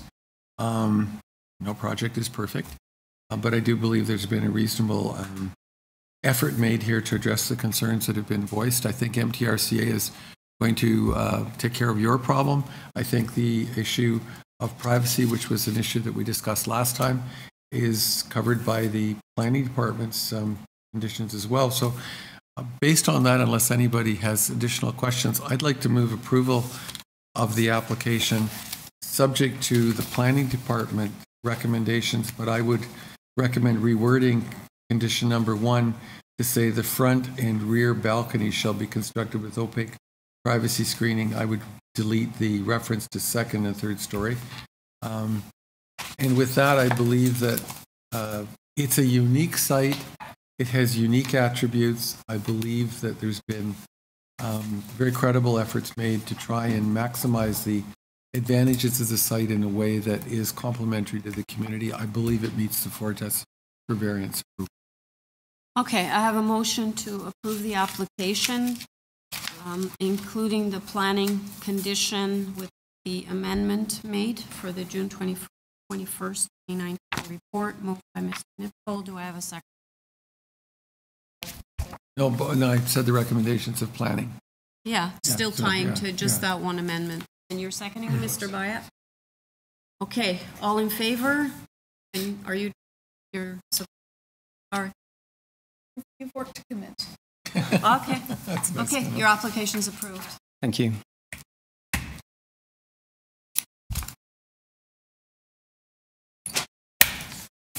And Mr. Gaudio, did you complete the, uh, the decision request card? Yeah, please give Give it it to to the staff so that you're notified in case you want.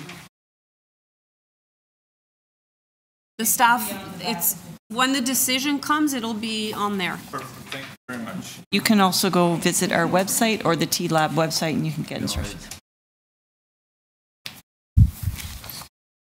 Okay. Uh, 52 Holmesdale Road. Okay, did you find your opposition? Okay. Okay, the opposition for Holmesdale, I need you to come and sit at the front here. And while you're making your way up, uh, panel members, we have before us a copy of the draft plan of survey, copy of the plan of survey, site plan, floor plans, and elevations. And we have staff reports from the manager of development engineering and uh, tree protection uh, are asking for forestry condition number three on the, um, on B and C. Okay, what's your name, please? Good afternoon. My name is Ravi Patel. I'm from RN Design. H Can you spell your name, please? I R A V I. R, okay, RV Patel. Yep. P-A-T-E-L? Thank you. Okay. And you have five minutes. Okay. Uh, this is property 52 Holmesdale. We are doing a semi-detached. Uh, we are applying for consent and min- minor variance application. This is uh, identical what we did on the west on the I'm sorry on the west side of the property at the 72 Holmesdale, which we built by now, which we did this year. Uh, it's the same exact all the variances. We have 10 variances in total. Whatever it requires for the semi to transform this into semi-detached lot. And before we begin, I have to say Sorry, back up. Can you, can you tell me what address was pre- approved for 72 Holmesdale, 72? which is on the west side of the property. West side. Yes, it's right adjacent. Oh, is It is. The properties are the same size as these. It is. That was approved when? It was approved, I think, last year By the committee or on a? by the committee with the same variances, exactly the same variances? identical. And the same consent Yes. properties? I don't recall on top of my head, but I had to double check, but it, it was identical. The frontages are the same as yours? The previous? Yeah. Uh, it may be fractions in a number, maybe very minor, but it was it was similar. Fraction bigger, the other ones? Mm, I'm not sure about that. Okay. Um, yeah, is there anything else you want to say, or? Uh, yes, on the part one, which is A0704, Right. there are two variances, six and seven. There is a typo. Okay. When they made the variance, so six says front and rear, it should say front, and seven says front and rear, it should only say rear, which is on the zoning notice. I, So six should say front, yes, not take out rear? yes. Okay. And seven, take out the front, only rear. I have a red line here if I can. Number seven should not say front main wall, it should Yes. say rear main. Yes. wall. Uh, this is zoning notice.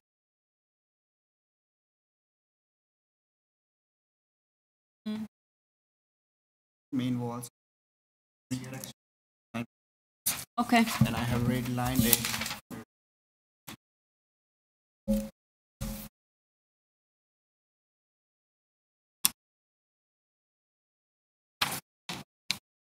Uh, no, the other one is fine. 31B.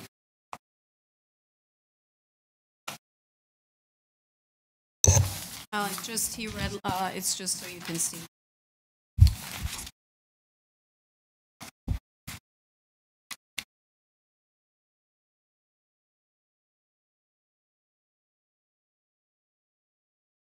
Yeah, seven is rear, front. Yeah, so the altered height of the main pedestrian entrance through the rear main wall will be, Um, I'm talking about the variance for the main wall height. yeah, but, okay, so let's, let's make sure it's right, because you're looking at the zoning notice, we're looking, we have the, uh, the notice that was sent out, so I don't know if I changed the wrong ones. I am, I'm referring to public notice for A0704. Part one.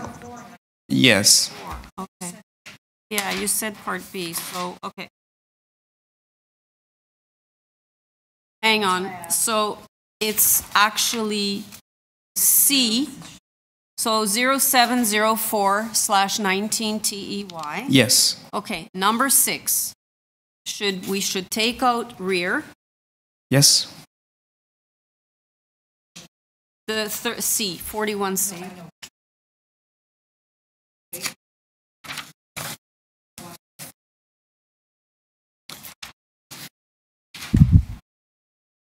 Is that, is that part two? No, It is part one. part one, Because if you look at the first variance, it says side yard setback on the western side. Is part one. Yes. Okay, so can you just say it again so we get this right? Because we were all looking at the, the other one.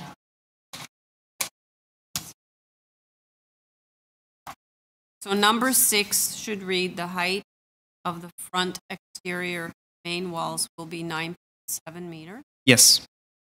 Seven should read, the height of the rear exterior main wall will be 9. Yes. Correct.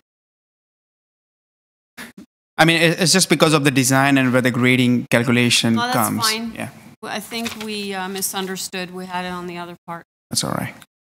Okay. Can I clarify one other thing? When you look at the, um, the survey you've given us, unless I'm misreading it, um, this is number 52, and you have an application to, to, to, for consent to divide that property in half. And you said it's identical to 72, which according to this is the property right next door. Mm-hmm. Yes.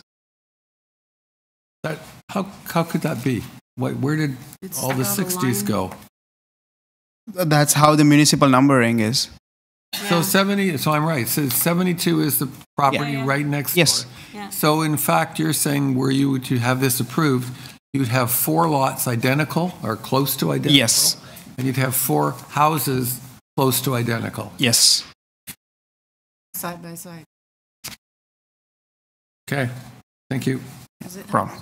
I can see the line, yeah, yeah. I just took trouble with It has the, you can see it, barely see it, but the line so- shows the split. down here, down the middle of the lot. Yeah, On a streetscape, it will look like we just developed at the same time. yeah, It's okay. hard to see. That, that was approved. Yes, it was. Yes. There was no concern from the neighbor even at that time. Okay. Okay, is there anything else? We interrupted you, so is there anything else that you have to add here? Uh, no, I don't like to add much because we're doing the exact same development with what we did for 72. Okay, so if I can have you sit down, I'll hear from the opposition and we'll have you back. Okay. Okay, sir, it's your turn. I need you to come up to the mic. And then I need you to start with giving us your name and your address. And my name is Durval Ribeiro. Sorry, what's your first name? Durval, D U R V A L. Yep.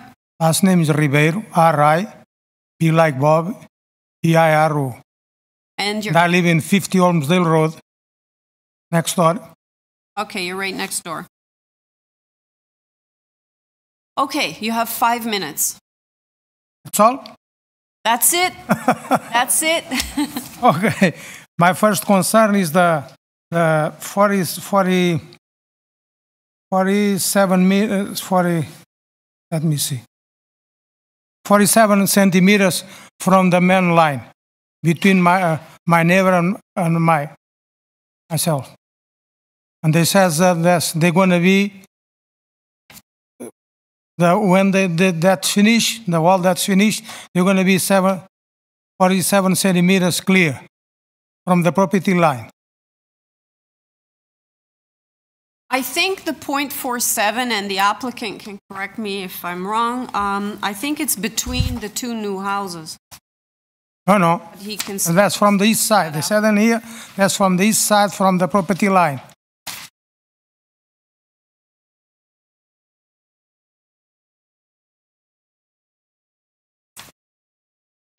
You want me to show you? Well, Because it's 46 on one and 46 the west. The one that was. Uh, Oh, no, no, no, no, he's, maybe he's right. East side lot. Yeah, it's, okay, sorry, I think I'm incorrect, but go ahead. That's it.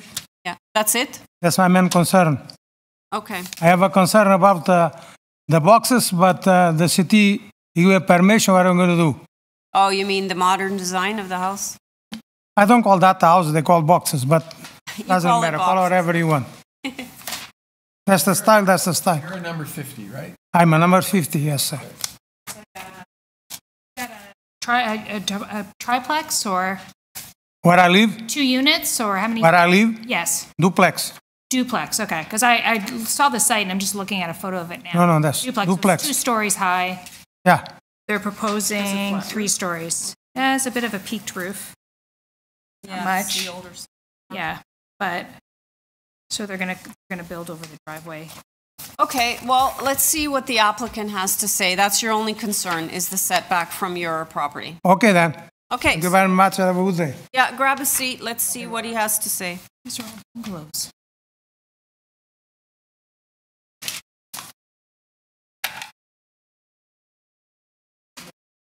Okay. Oh, no, no, don't leave yet. We're not done. Don't leave. Yeah, just sit back We're over here again. Bef- Okay, Before you fine. start, I expect this gentleman to come and object east side elevation and height. Is there, has there been any consideration given to relieve that east wall? I mean, that,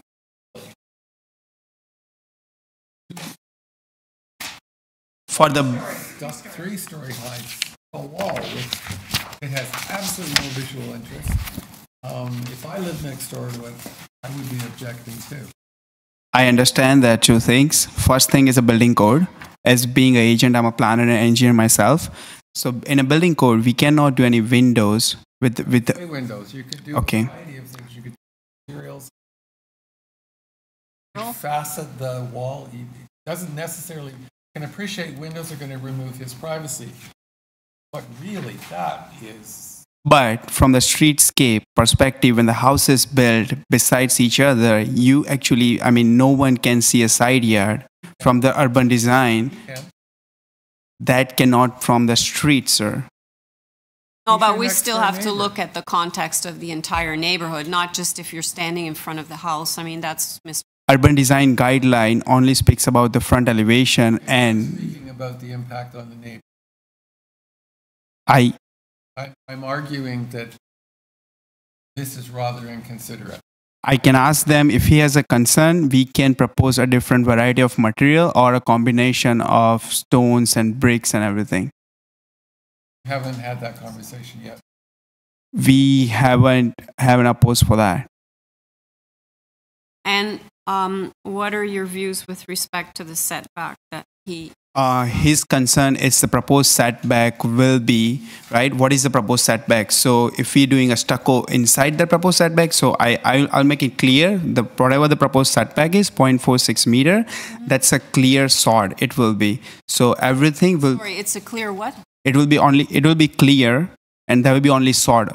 Okay, right? but his issue is he wants a bigger setback, so is, his issue was there shouldn't be anything within a 0.46 meter. So there is no stucco, there is no encroachment. is that you're it was too too close. That's what I understood his issue to be, and it, it does. I would like to get a clarification from a gentleman if you don't mind. come back up to the front.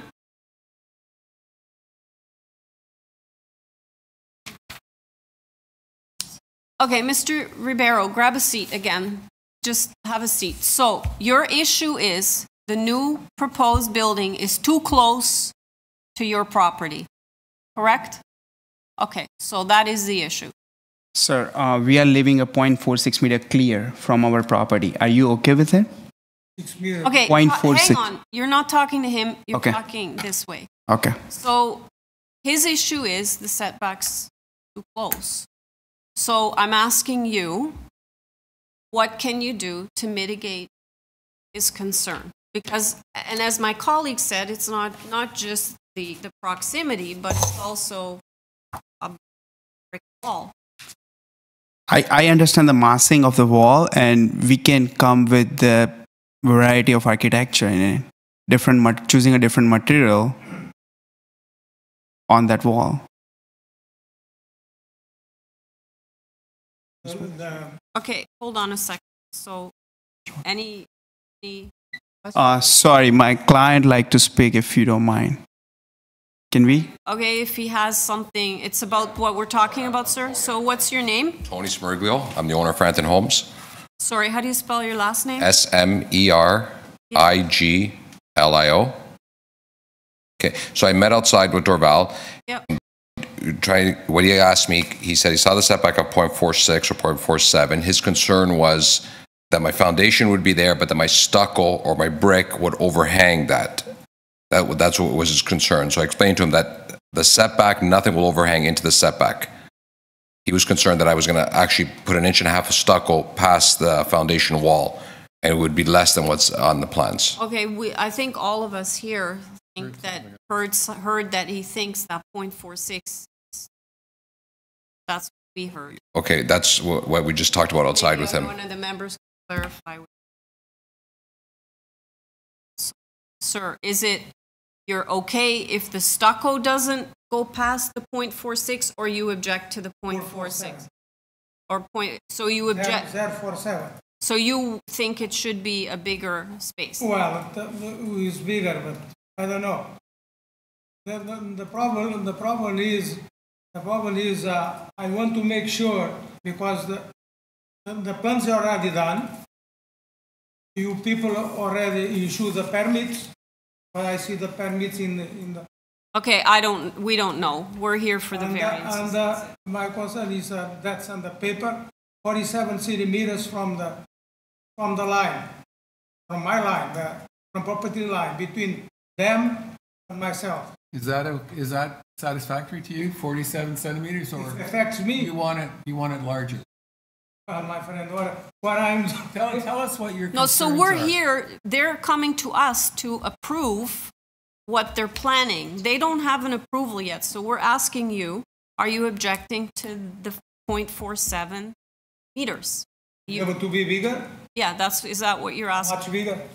Uh, I'm- So we're asking you, do you, do you don't, you want it a bigger space between you and them? Have a chance, I like to. Okay. That's, I think we all understand. Right. Okay, so I guess I'll ask the owner then, because is there something that can be done? He has windows, he's gonna be looking at a brick wall. Yeah, he also has a, he's got a driveway there too, so he's not right up against me. No, there's two driveways there right now, one on my existing property and his, so I'll be eliminating my driveway and he'll continue to have his. I his. think we need to look at this perspective. The only reason this issue is an issue is because you're requesting a consent to sever a piece of property. Yes. And it seems to me that if you want to sever a piece of property, the onus is on you to come up with a development that fits within the context that you're building in.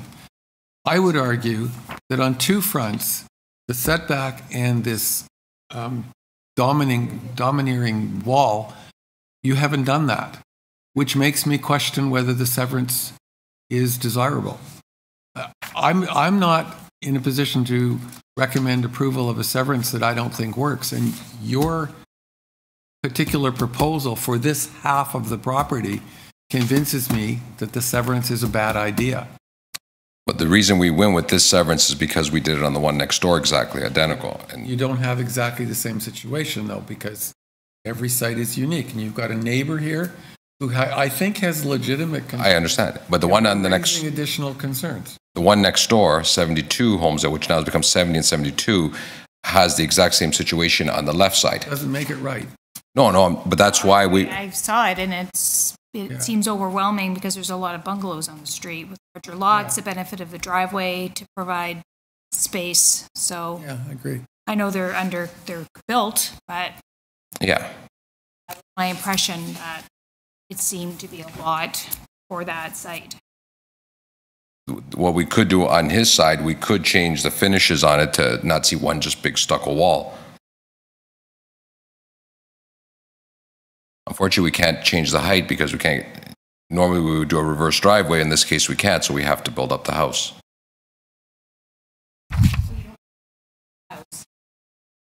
Well, we're only, we build it up because of the square footage. What happens, the- main floor with the garage in it, there's nothing left on the main floor.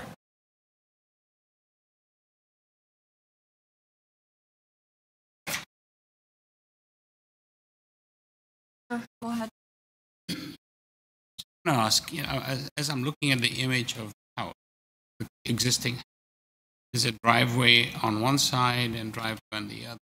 Of the two new homes I'm going to build? No, they Uh, don't show up on Google From the Maps, current, on, yeah. current homes, that's the correct home, is Yes, so the driveway right now is on the right, and he's on the right. Our two driveways are, So he's, he shares that driveway? yes, he's this house here. I'm, that's his, Yeah. and that's the his duplex driveway, up there, and then. I'm here with my, Your driveway is on the, right, on, no, right here is my driveway. The two driveways are connected. Looks like one big driveway, but Yes. in Yeah. fact it's It's two split in driveways. half. Oh, it's Yeah, split in that, half. like, the Yes. Survey. Split in half. so presumably his uh, driveway will be large enough for him to take his car to Yeah, the it's back? two full driveways, they're not, they're not. Yeah, sorry, I, I, I- I couldn't quite figure out, So essentially, even though I'm only 47 centimeters from the property line, it's, on my end, it's going to be wasted space regardless. There's going to be a walkway, there's going to be no fence or anything. So he still has access down the side without any problems. He'll still have his full driveway and walking space on my side. Any other questions? No. Space on your side, 47 The centimeters. 47 centimeters, I'm not going to put a fence up to, um, on the property line. That's going to stay all open.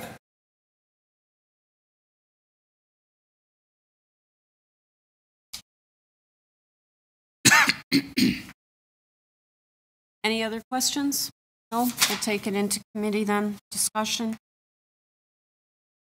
Madam Chairman, I think we have to bear in mind what we have before us. We have a, uh, an existing property with a house on it. And we have a proposal to sever the property in half to facilitate the building of two homes. I don't think there's anything necessarily wrong with that, providing the two homes that are being built um, can respect and reinforce the existing character of the community in which they are located. I don't believe this application does that. In fact, the variance applications on this particular, or this particular case, reinforce to me the fact that the consent may in fact not be a good idea in the first place. Um, Therefore, my motion, um, Madam Chairman, is to deny approval to both the consent and the variances. Because I don't believe they're consistent with the area. No. No. Um, okay, I have a motion, uh, moved by Mr. Nip to use the application. Do I have a second? I'm going to second it. Um, I have shared the same view. I have con- particular concerns with the uh, front and rear wall heights um, and the floor space index, notwithstanding the fact argued there is a set of semi-next door under construction or built. Do look overwhelming and large for the neighborhood, and I don't think one set of houses justifies um, or is tribute to, it basically speaks to the character of the area. Um, there's a lot of bungalows on the street. There's a lot of large, the lots are larger. I don't see a lot of smaller lots like this, and I don't think it meets requirements for the consent, or particularly the variances are quite high. in my. So I'm going to second the motion for refusal of the consent and the variances. I have a motion moved by Mr. All in favor? Okay, dissent? Yeah, myself and um, Mr. Bayat dissent. Okay, so the application's refused. Thank you. So, sir, the application is refused. Um, have you filled out the forms? Okay, the, can one of the staff maybe show this gentleman the, the card, and if you can fill that in before you leave? Um, Okay. So, final application is, um, yeah. Mm-hmm. Item number 43, 647 Beresford. Yes. And the oppositions, you're still here? Yes. Okay, we have before us a copy of the draft plan of survey, copy of the plan of survey, site plan, floor plans, and elevations. We have planning justification from Mr. Barbini, staff reports from the manager of development engineering, and we have um, tree protection, urban forestry is asking for condition number three on part one and condition number one on part two. Okay, can I have your uh, name, please, for record? Yeah, my name is Armando Barbini. I represent the owners of the property. I'm an urban planner. Okay, um, Do you want to? five minutes. Okay. Yep. Yeah, so um, I did submit the planning rationale report, and so I won't go through it uh, in detail. But, um, so, oh, Gentleman behind. yeah. Um, I did come to a conclusion that uh, this proposal will fit, will reinforce and uh, will reinforce the physical characteristics of the neighborhood. Um, there, very specifically, there was a chart that I prepared which had uh, six other examples of the of almost virtually the same type of application, and maybe I can just show you the photographs of those those homes that were built. Two of them were haven't been built yet. Uh, they were very recent approvals, but I did find on the website the drawings for those. That's 583 as uh, Durie, 6 and 615 Beresford. You'll see 606A and 606B Durie are three-story homes. Um, 640 and A and B Durie also. Property at 617 and 619 Beresford and 544A and 544B Beresford. They are virtually um, very similar to what we're proposing. And one thing that I also like to point out is if you'll notice that beside these properties, um, it's not a, they're not all bungalows in this area. They're not all two stories. They're not all two and a half story. And you'll see, especially on 6, um, 617, 619 to the south is a bungalow. And to the north is a bungalow. Um, the setbacks are reduced in many cases in this area. A lot, a lot of the side yard setbacks are reduced. There's a couple of other homes from the subject property. These weren't severances, but these are fairly new homes that were built. Uh, 654 Beresford, uh, 686 and 666 Beresford. And you'll see in all of these cases, you have one stories on one side, two on the other. Uh, these are mostly two-story. Uh, 666, I think, is a three-story by virtue of the below-grade garage. Uh, but it's a very eclectic area. It's not. It's not a homogeneous area where you've got all either all bungalows or all two stories, and also the, you don't have all semis or all detached homes. It's a mixture. So looking at the variances being requested, we have a variance with respect to uh, lot frontage of 5.08 meters, bylaw required six. We have uh, variance with respect to building length. Now, the building length, I did uh, submit for the committee a, um, a diagram that showed the difference between what would be permitted and what is being proposed.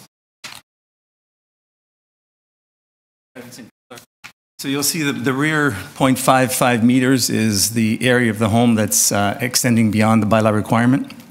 I submit that that additional increase in length does not create negative impacts on the adjacent properties. The, the darker the darker part at the back, yes, yeah, yeah. When you look at the lot sizes, I mean, when you look at the official plan and the Planning Act, it talks about ensuring that the proposed lots are consistent with lots in the neighborhood and the adjacent plans of subdivision. So I did a, um, a lot study of the lot sizes in the area. And you'll note that, um, and it's in that report as well, 15% of the homes are either equal to or smaller, the lots are either equal to or smaller than the proposal. A total of 28 lots are smaller than the bylaw requirements, so an undersized lot is not uh, new for this area. And of, of interest, and uh, I'd like to point out that only 5% or five lots in this area have frontages equal to this, this, existing lot. So in fact, this existing lot is one of the anomalies in the area. Uh, I know there's another one, I think, next door, but other than those two, uh, most, most of the lots are smaller in size.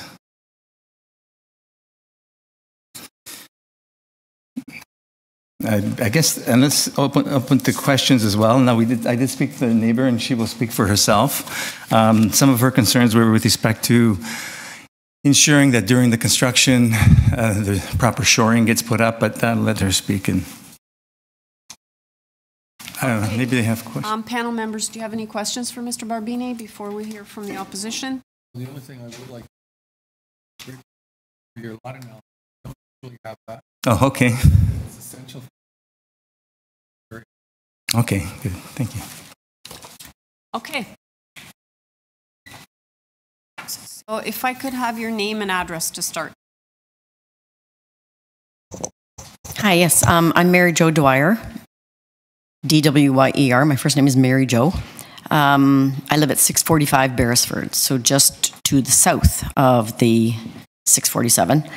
Uh, we've lived there for 36 years. The house is 102 years old, our house. And our biggest concerns, which is what we were talking about, is that they are requesting that the house that they're going to build, the semis that they're going to build, but the one that's closest to us, is going to be closer to the property line than is allowed. And our concern is for our the the home itself, the our basement and our the the brick, and um, we were just concerned with all the digging and the, and the new development that it, will um, affect our house, that we could have flooding, we could have damage to our, our basement, and uh, that's our biggest concern. So that's what we were talking about outside. I spoke with the owner um, by phone, and he's willing to put into writing some guarantees that should anything happen, that they will be totally responsible for any repairs, any damage that's done, which my husband and I would be happy with. As for the rest of the house, um, yeah, there are a lot of houses that have gone up that are tall and skinny. Our house is tall and skinny, so it's it's it's the neighborhood. And some are bungalows, and a lot of bungalows are being redeveloped, and the roofs are being torn off, and that's some of the pictures that you saw. That's what's happened. So the the neighborhood is changing, and people need housing. So those are all good things. We just want to make sure that our home is protected and that we still have access to our backyard and uh, we're still able to live there. So that's That's why I came. That's my biggest concern. Okay, so the, the agreement would be between the two of you. It's Mhm. not something that the committee enforce or have jurisdiction No. I understand that. If you have an agreement, then Well, we have a, gr- an, a verbal agreement, so I'm hoping that the owner, that, maybe if it makes you more comfortable, you get something in writing. That's what I'm asking Sign for. it and Mhm. know your neighbor and you're comfortable, then Yeah. I'm sure that it'll be honored and yeah, is- that's what, that's what has to happen. uh, Yeah. we- we don't have jurisdiction. I understand that, yeah. So if, if this all goes through and all the variances go through, um, that's what, that's the biggest concern we have, is that it's going to be closer. There's going to be a big wall, but, um, anyway, we'll have to work that out. We'll get Yeah, used to it. Change is never, never easy. No, it's not easy, yeah. Okay, thank you. I Just want to express to the committee that we also, the owner also did speak to Mary Jo, uh, Mary Jo and said that they um, have done this type of construction near other houses before, and what they usually do is put shoring down, just to give her some assurance. That's part of the building permit process too, right? They will put some shoring right on the lot line, or just, you know, inside the lot line, to ensure that none of the foundation, her foundation slips or the soil slips or anything, and then they build a foundation wall and they build up, you know? So, and she seemed to be happy with that. Well, it sounds like the neighbor's willing to uh, do some things to Mhm. help ease her concerns. If you can put it in writing, that would probably be great. Yeah. And give her more comfort. Yeah, that's what I'm hoping for. That's what I'm working on. All right, well, you keep working on it. All right. Okay. okay. All right, panel members, do you have any questions? I do. Um, You obviously heard the discussions in the last application. Yes. I have the same concern here on your left side elevation, got a rather substantial three, four-story wall. Now, her situation is not quite as bad as in the last case. Yeah. Um, A large portion of that wall is not clearly visible because her house is mm-hmm. but the portion at the back, say. Extends beyond the back, yeah. Third, um, Dominant element in the back. Have you given any consideration to what you might do to break up that side wall? There is an obvious solution. You put mansard on the front, tack a mansard on the front elevation. Might possibly make it well. Mhm. There is a design sheet saying that- Yeah. I think that that wall is a bit towering. I'm wondering if you might consider make it less Uh, Sure, the owner would look at that. I, I'm not a designer, so I can't say, um, but let me just take, I'm taking a look at the side elevation and the back elevation. You're right, the front does have the mansard roof. Um, The, the, this area, you'll note that there's no requested variances to height as well. Yeah.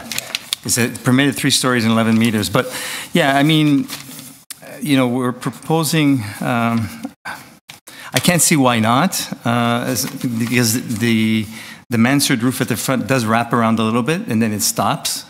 I, I think it's for looks. Maybe they can continue it along. I, I, I can't say for sure. I don't know if that was, uh, if that would help. Uh, Still going to be a big wall. yeah, well, I mean, uh, but, but the look, yeah, maybe stucco, because this is brick, I think, or, s- the- no, it's stucco on the side, Yes. I'm yes. not suggesting a condition that you do a specific thing like do this, that, or the other thing. Right. I am saying that I think that that side wall could be improved. It is a large, it has a huge uh, impact on this lady's back garden. Mhm. She's Lived there for a long time. Mhm. I don't think that she should have to suffer because of the development on your lands, and I would encourage you to look at um, improving the quality of that side wall. Okay, we could, I mean, I, we can look at it, absolutely. Uh, only thing is I'm trying to figure out how to, uh, how we would uh, look at it, and it was it something that the neighbor would like to work with us on or something, uh, that's fine, you know. um, But I can't, yeah, I'm gonna talk to the designer, but I, I can't do anything right now on the fly, I can't, think- yeah, okay. No, but I hear you, Just- I'm hear you, just That is a but- suggestion. yeah, no, understood. I mean, the third floor is stepped back, so it doesn't go as long as the other floors. So the length variance also doesn't, aff- isn't affected. Slight, it's a slight break because of the balcony, yeah.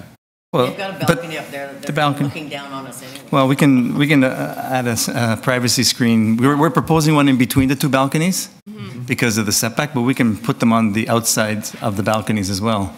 Privacy screen, you like that? Okay. that'd be very good. Sure. That's not a problem. And we could look at the, the roof design, see if we can bring the mansard around. Of course, I mean, that's not the only solution. I just, No, yeah. This mural with big trees. I All right, any other questions?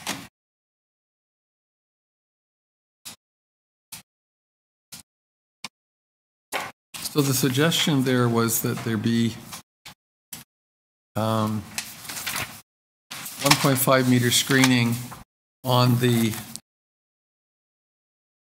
north side of the top floor deck on lot one and on the south side on lot two, and you were agreeable to that. Yeah, we're amenable to that. And uh, the- actually, the plan shows a screening between the two houses as well. Mhm. So we we essentially have three screen, three 1.5 meter high screens. So it What are you be, proposing, a fence or opaque? The details haven't been haven't been worked out, but an opaque an opaque screening. These days, a lot of people put uh, glass that's kind of like a glass block or something, or yeah, frosted glass. Yeah, yeah. Okay. along the north and the south side of each of the Of each of the decks, yeah, and one could be shared. Yeah.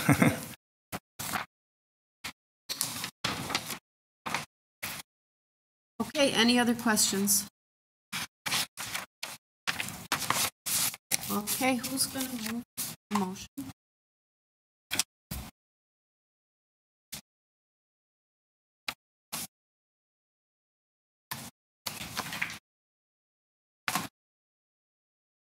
No.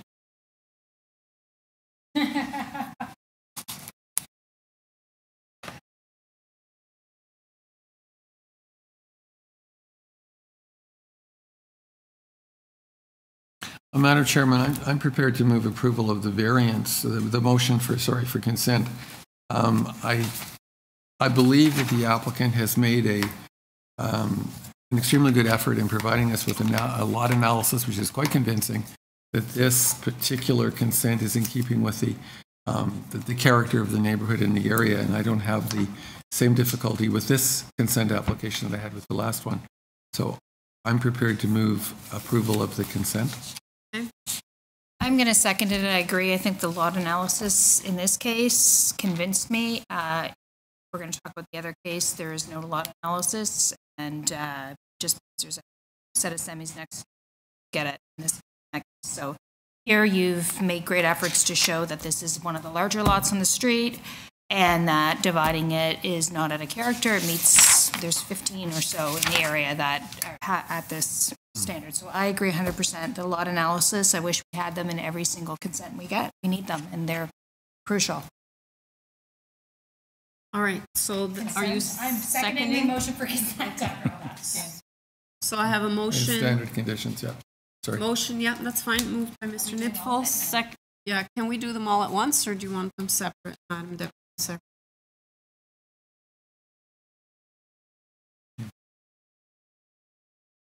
We like- Okay. Okay, so then the motion is um, moved by Mr. Nipfel, seconded by Ms. Valentini, including the standard consent conditions to approve the, um, the consent. All in favor? Okay, so let's move on to the, um, the variance.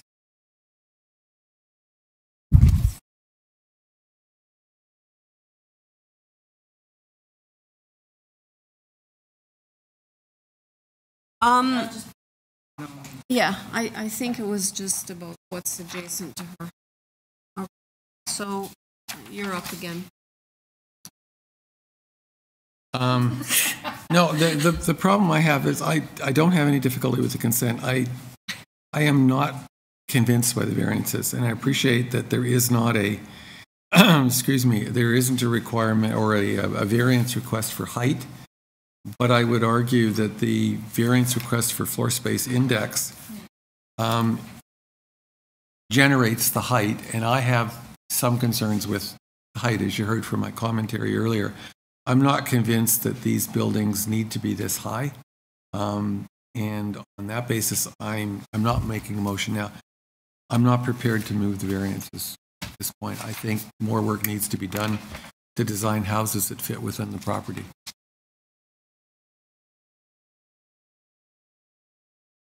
I do, I agree with the frontage, but Right. I I have concerns Okay, with so the I- massing.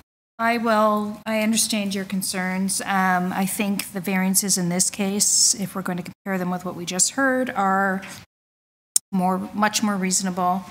There is no height variance triggered, even though it is a three-story home. I understand what you're saying about the, the, I suppose, the length of the building, but the, the variance for building length is minimal, in my view, and the floor space index is not out of control like some other variances we've seen. So I am happy to move the variant, uh, move a motion for approval of the variances, and we have, condi- no. So part one has forestry number three. That's right, and okay. part two has Forestry forestry number number one. one, and then the engineering condition. They're on the Or consent. they're on the consent? Yeah, they would be on the consent, so that, Yeah. yes, this, thank you for the reminder, 1.5 meter screening on the North opaque, and yes, south. of course, North- north, south. and south side. And you'll put it in the center, but that's fine. And that one too. Okay. So, motion to approve um, both of the um, apps um, has been moved by Ms. Valentini. That includes one, and then uh, uh, screening, opaque screening on the north side of the decks. Do I have a seconder? Second, Ms. Pyatt, all in favor? Okay, so you Thank you have your very much. approvals. Thank you.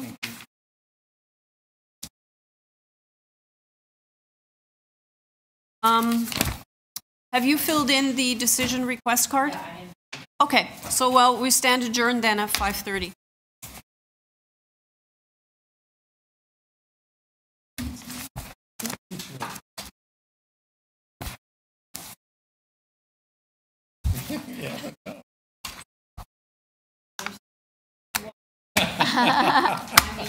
You have a little faith. If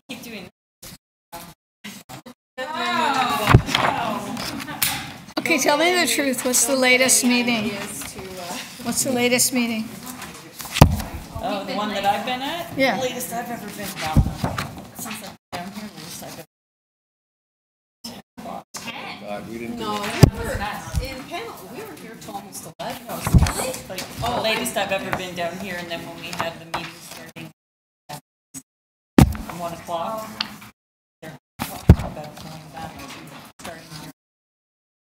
I heard um, that. Two council meetings that ended at 4:30 in the morning. Is everybody's mic off? One after another.